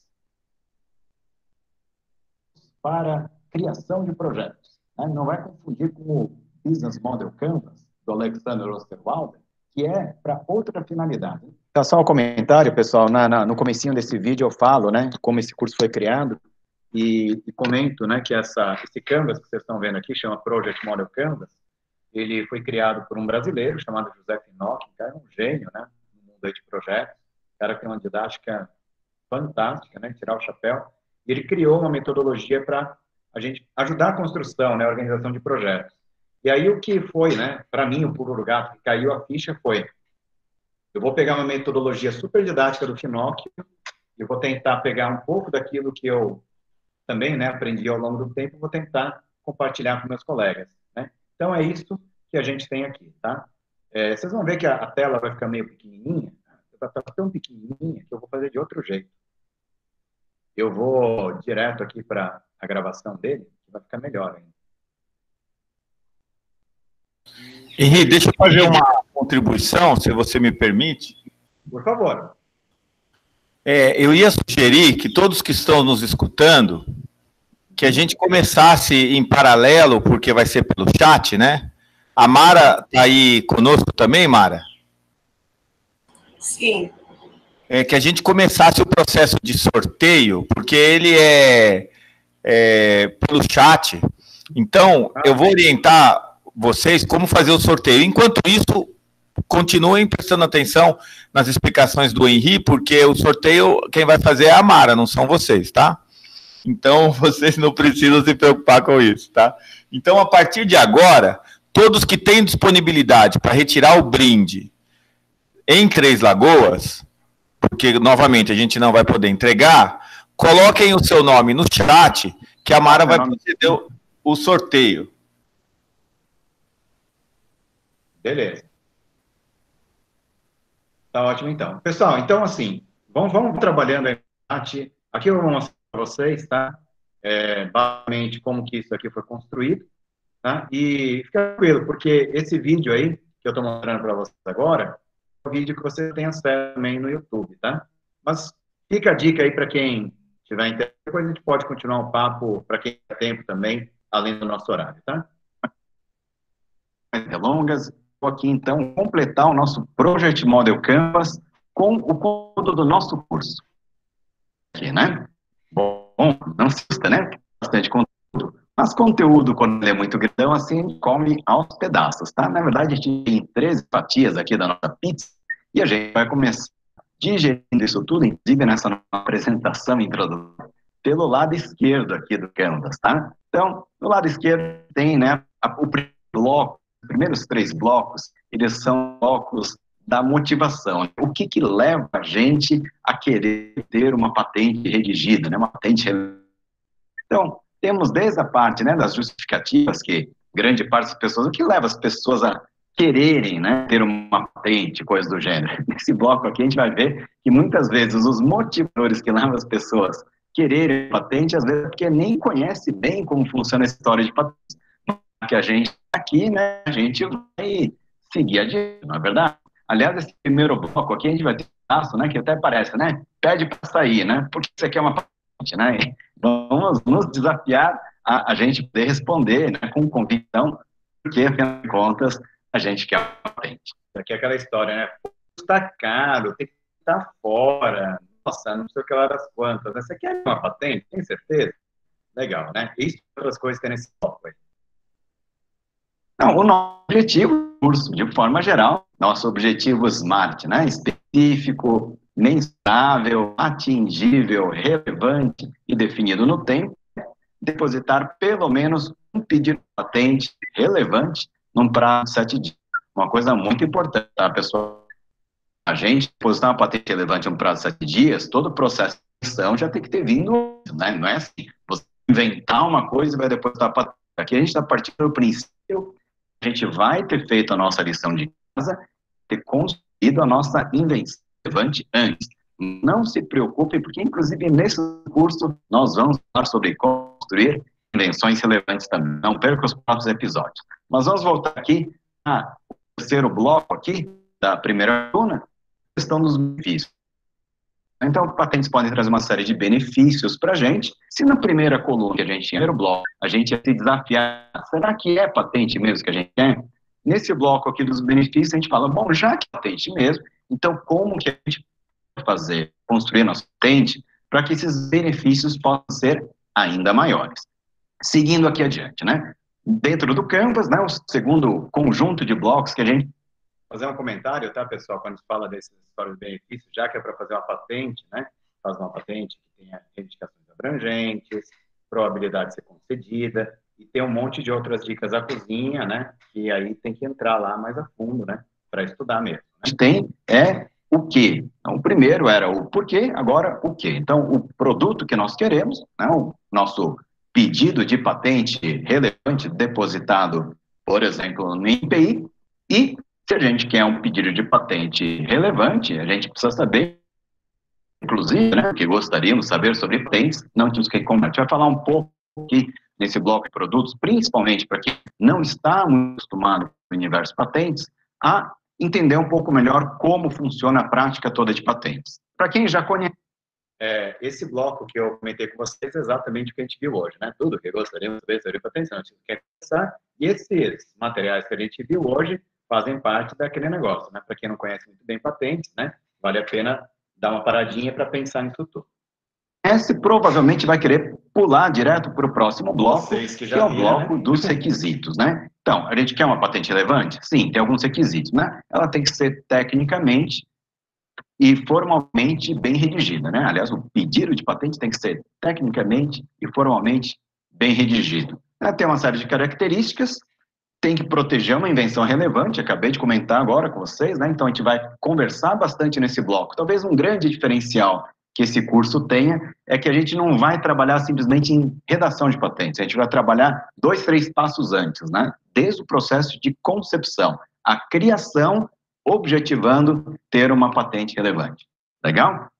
Beleza. Então, tem algumas características né, da, da invenção relevante. A, o pedido de patente tem que ter uma boa probabilidade de execução, tem que estar em alinhamento estratégico com a estratégia da empresa, né?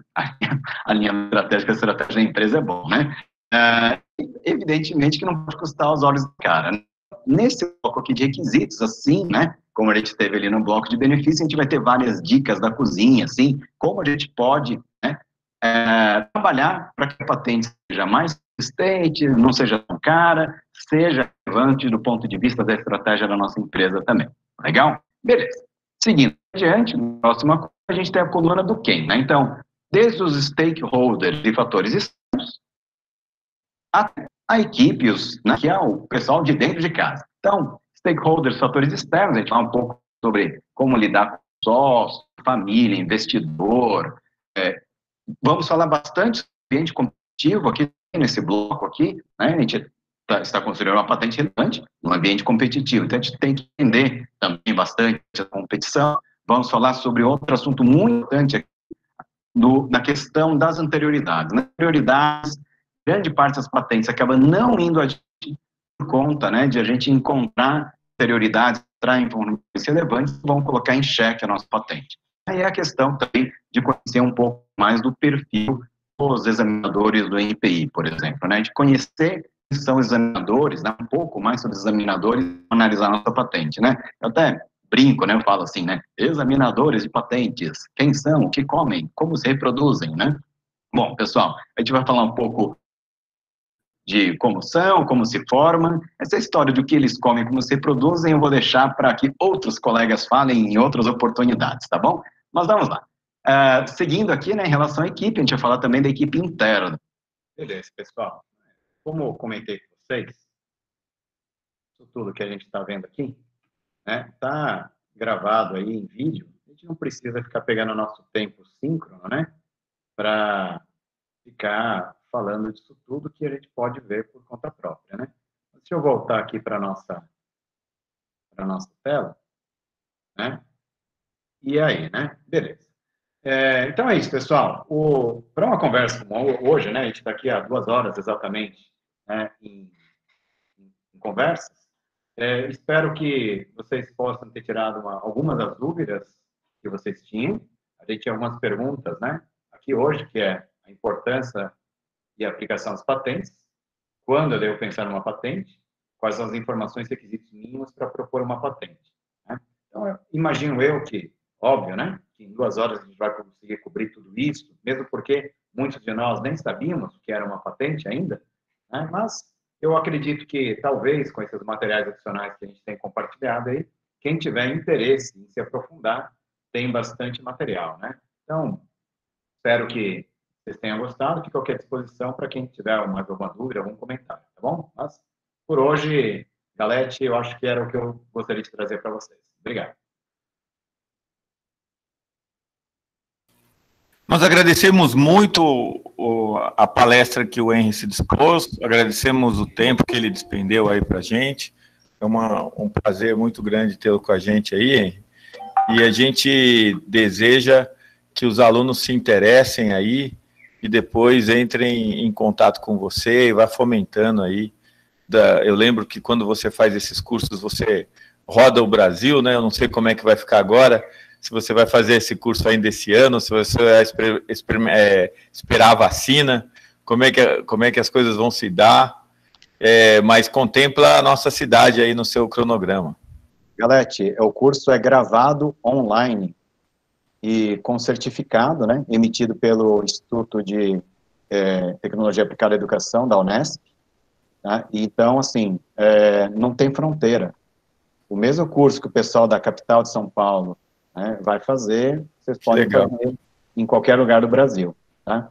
E, é, inclusive, tem a, tem a, questão, né, a gente tem, vai ter os parceiros locais, né, para a gente poder fazer a divulgação e, inclusive, tem até recursos que são reservados para remunerar, né, ou até permitir que o pessoal local possa dar bolsa de estudos, né, para os participantes da região. Tem muita gente que fala, né, galera, tipo, pô, mas a gente está aqui no Instituto Federal, tem aluno que não tem condição, tal, disso, daquilo, né, então a gente fez um esquema assim, que a cada três inscrições, praticamente, você ganha uma de graça, né, então, é, acaba sendo meio que autofinanciado, né, e o custo também não é nenhum absurdo, né? Curso de mais de 40 horas, com certificado numa organização como o IEP3, né?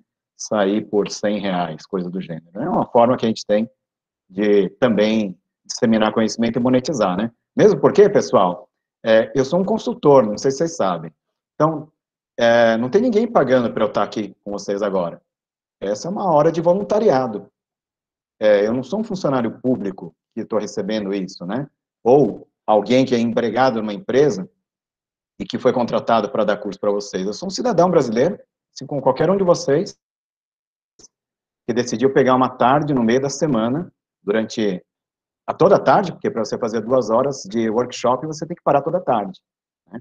E aí, reunir o material, juntar as coisas, né? parar tudo que estava fazendo para a gente fazer. Galete, assim, o que eu posso te dizer é que é, espero né, que quem esteve aqui conosco aproveite, que vocês, professores que estiverem conosco, não precisem de mim para um próximo evento como esse. Galera, você percebeu? A quantidade de material que já tem gravado é enorme, né? Lógico que é mais confortável e é mais legal para todo mundo pegar alguém né, que tem um perfil, sim, né, diferente, alguém de fora para fazer. Mas é, não dá para a gente fazer isso para todo o Brasil, né? Pra vocês terem uma ideia, no máximo teve de pico aqui 25 participantes, né? E a gente tem que saber otimizar nosso tempo também. Mas legal, pessoal, espero que vocês tenham curtido, né? É, pode pegar esses links, compartilhar com os outros colegas também, e fico aqui à disposição. Perfeito, Henri, muito, muito obrigado. E a gente vai é, mantendo mais contatos aí no futuro. Mas eu falei para você rodar o Brasil, porque às vezes é legal, a gente já está carente de se ver, assim, né? De ter um pouco mais de contato pessoal, né? Ah, é verdade. Mas aí quando eu for, Galete, não vai ser para ministrar curso, não tem sentido. Esse curso, vocês perceberam, pessoal, a quantidade de conteúdo que tem, não dá para em duas horinhas a gente fazer alguma coisa e sair daqui assim, aprendendo alguma coisa. Deu para a gente tirar umas dúvidas ali iniciais, mas é muita coisa. Esse tipo de conteúdo você demora um mês para você digerir. Né? Então, assim, é, não tem atalho, né, Galete? E aí o que eu espero é que as pessoas, a partir do momento que já têm experiência, quando a gente for conversar, não é para apresentar conteúdo. Horário síncrono é muito importante. A gente poderia ter pego duas horas para tirar dúvidas das pessoas que já tinham estudado todo esse material, né? Para a gente fazer. A gente tem muito que aprender ainda, pessoal. A gente tem que aprender aprender ainda. Né? Mas agradeço a oportunidade mais uma vez de estar com vocês, tá bom? Galete, são 4 horas e 11 minutos aí na capital, aliás, na capital federal do Brasil já são 17 e 11, né? No horário aí do Mato Grosso do Sul são 4 e 11. Eu estou vendo que vocês têm outros, é, outras atividades, né? Desejo um bom evento para vocês todos e espero que vocês, que eu tenha agregado alguma coisa, quem assistiu aqui, pega qualquer um desses vídeos, se quiser deixar algum comentário lá, sugestão de melhoria, sempre vai ser bem-vindo, tá bom? Obrigadão, pessoal. Nós que agradecemos, Henri. Muito obrigado por tudo e a gente vai conversando. Valeu, estou me desconectando aqui então. Tá bom? Valeu, até mais. Pessoal, galera, você vai fazer alguma observação? Senão eu vou, eu vou transmitir o sorteio. Pode, pode transmitir. Pode transmitir. Muito obrigado.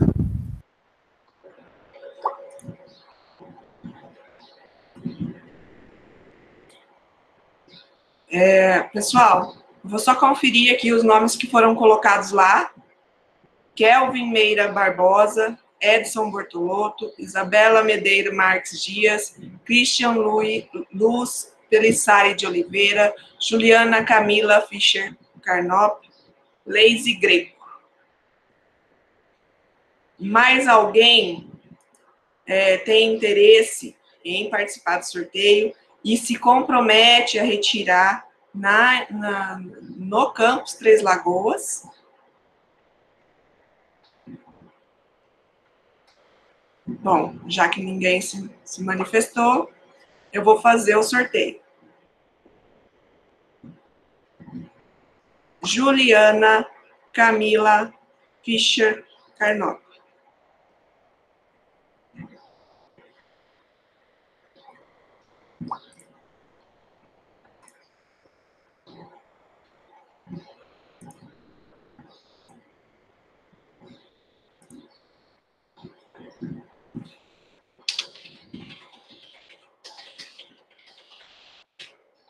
Por gentileza, Juliana, você encaminha para a gente é, no, no e-mail scp.pl arroba ifms.edu.br é, RG, CPF, seu nome e telefone para que a gente possa ter contato. para poder fazer esse cadastro e agendamento para retirada do, do, do, do, do prêmio do sorteio. Tudo bem? Bom, galera, se quiser finalizar.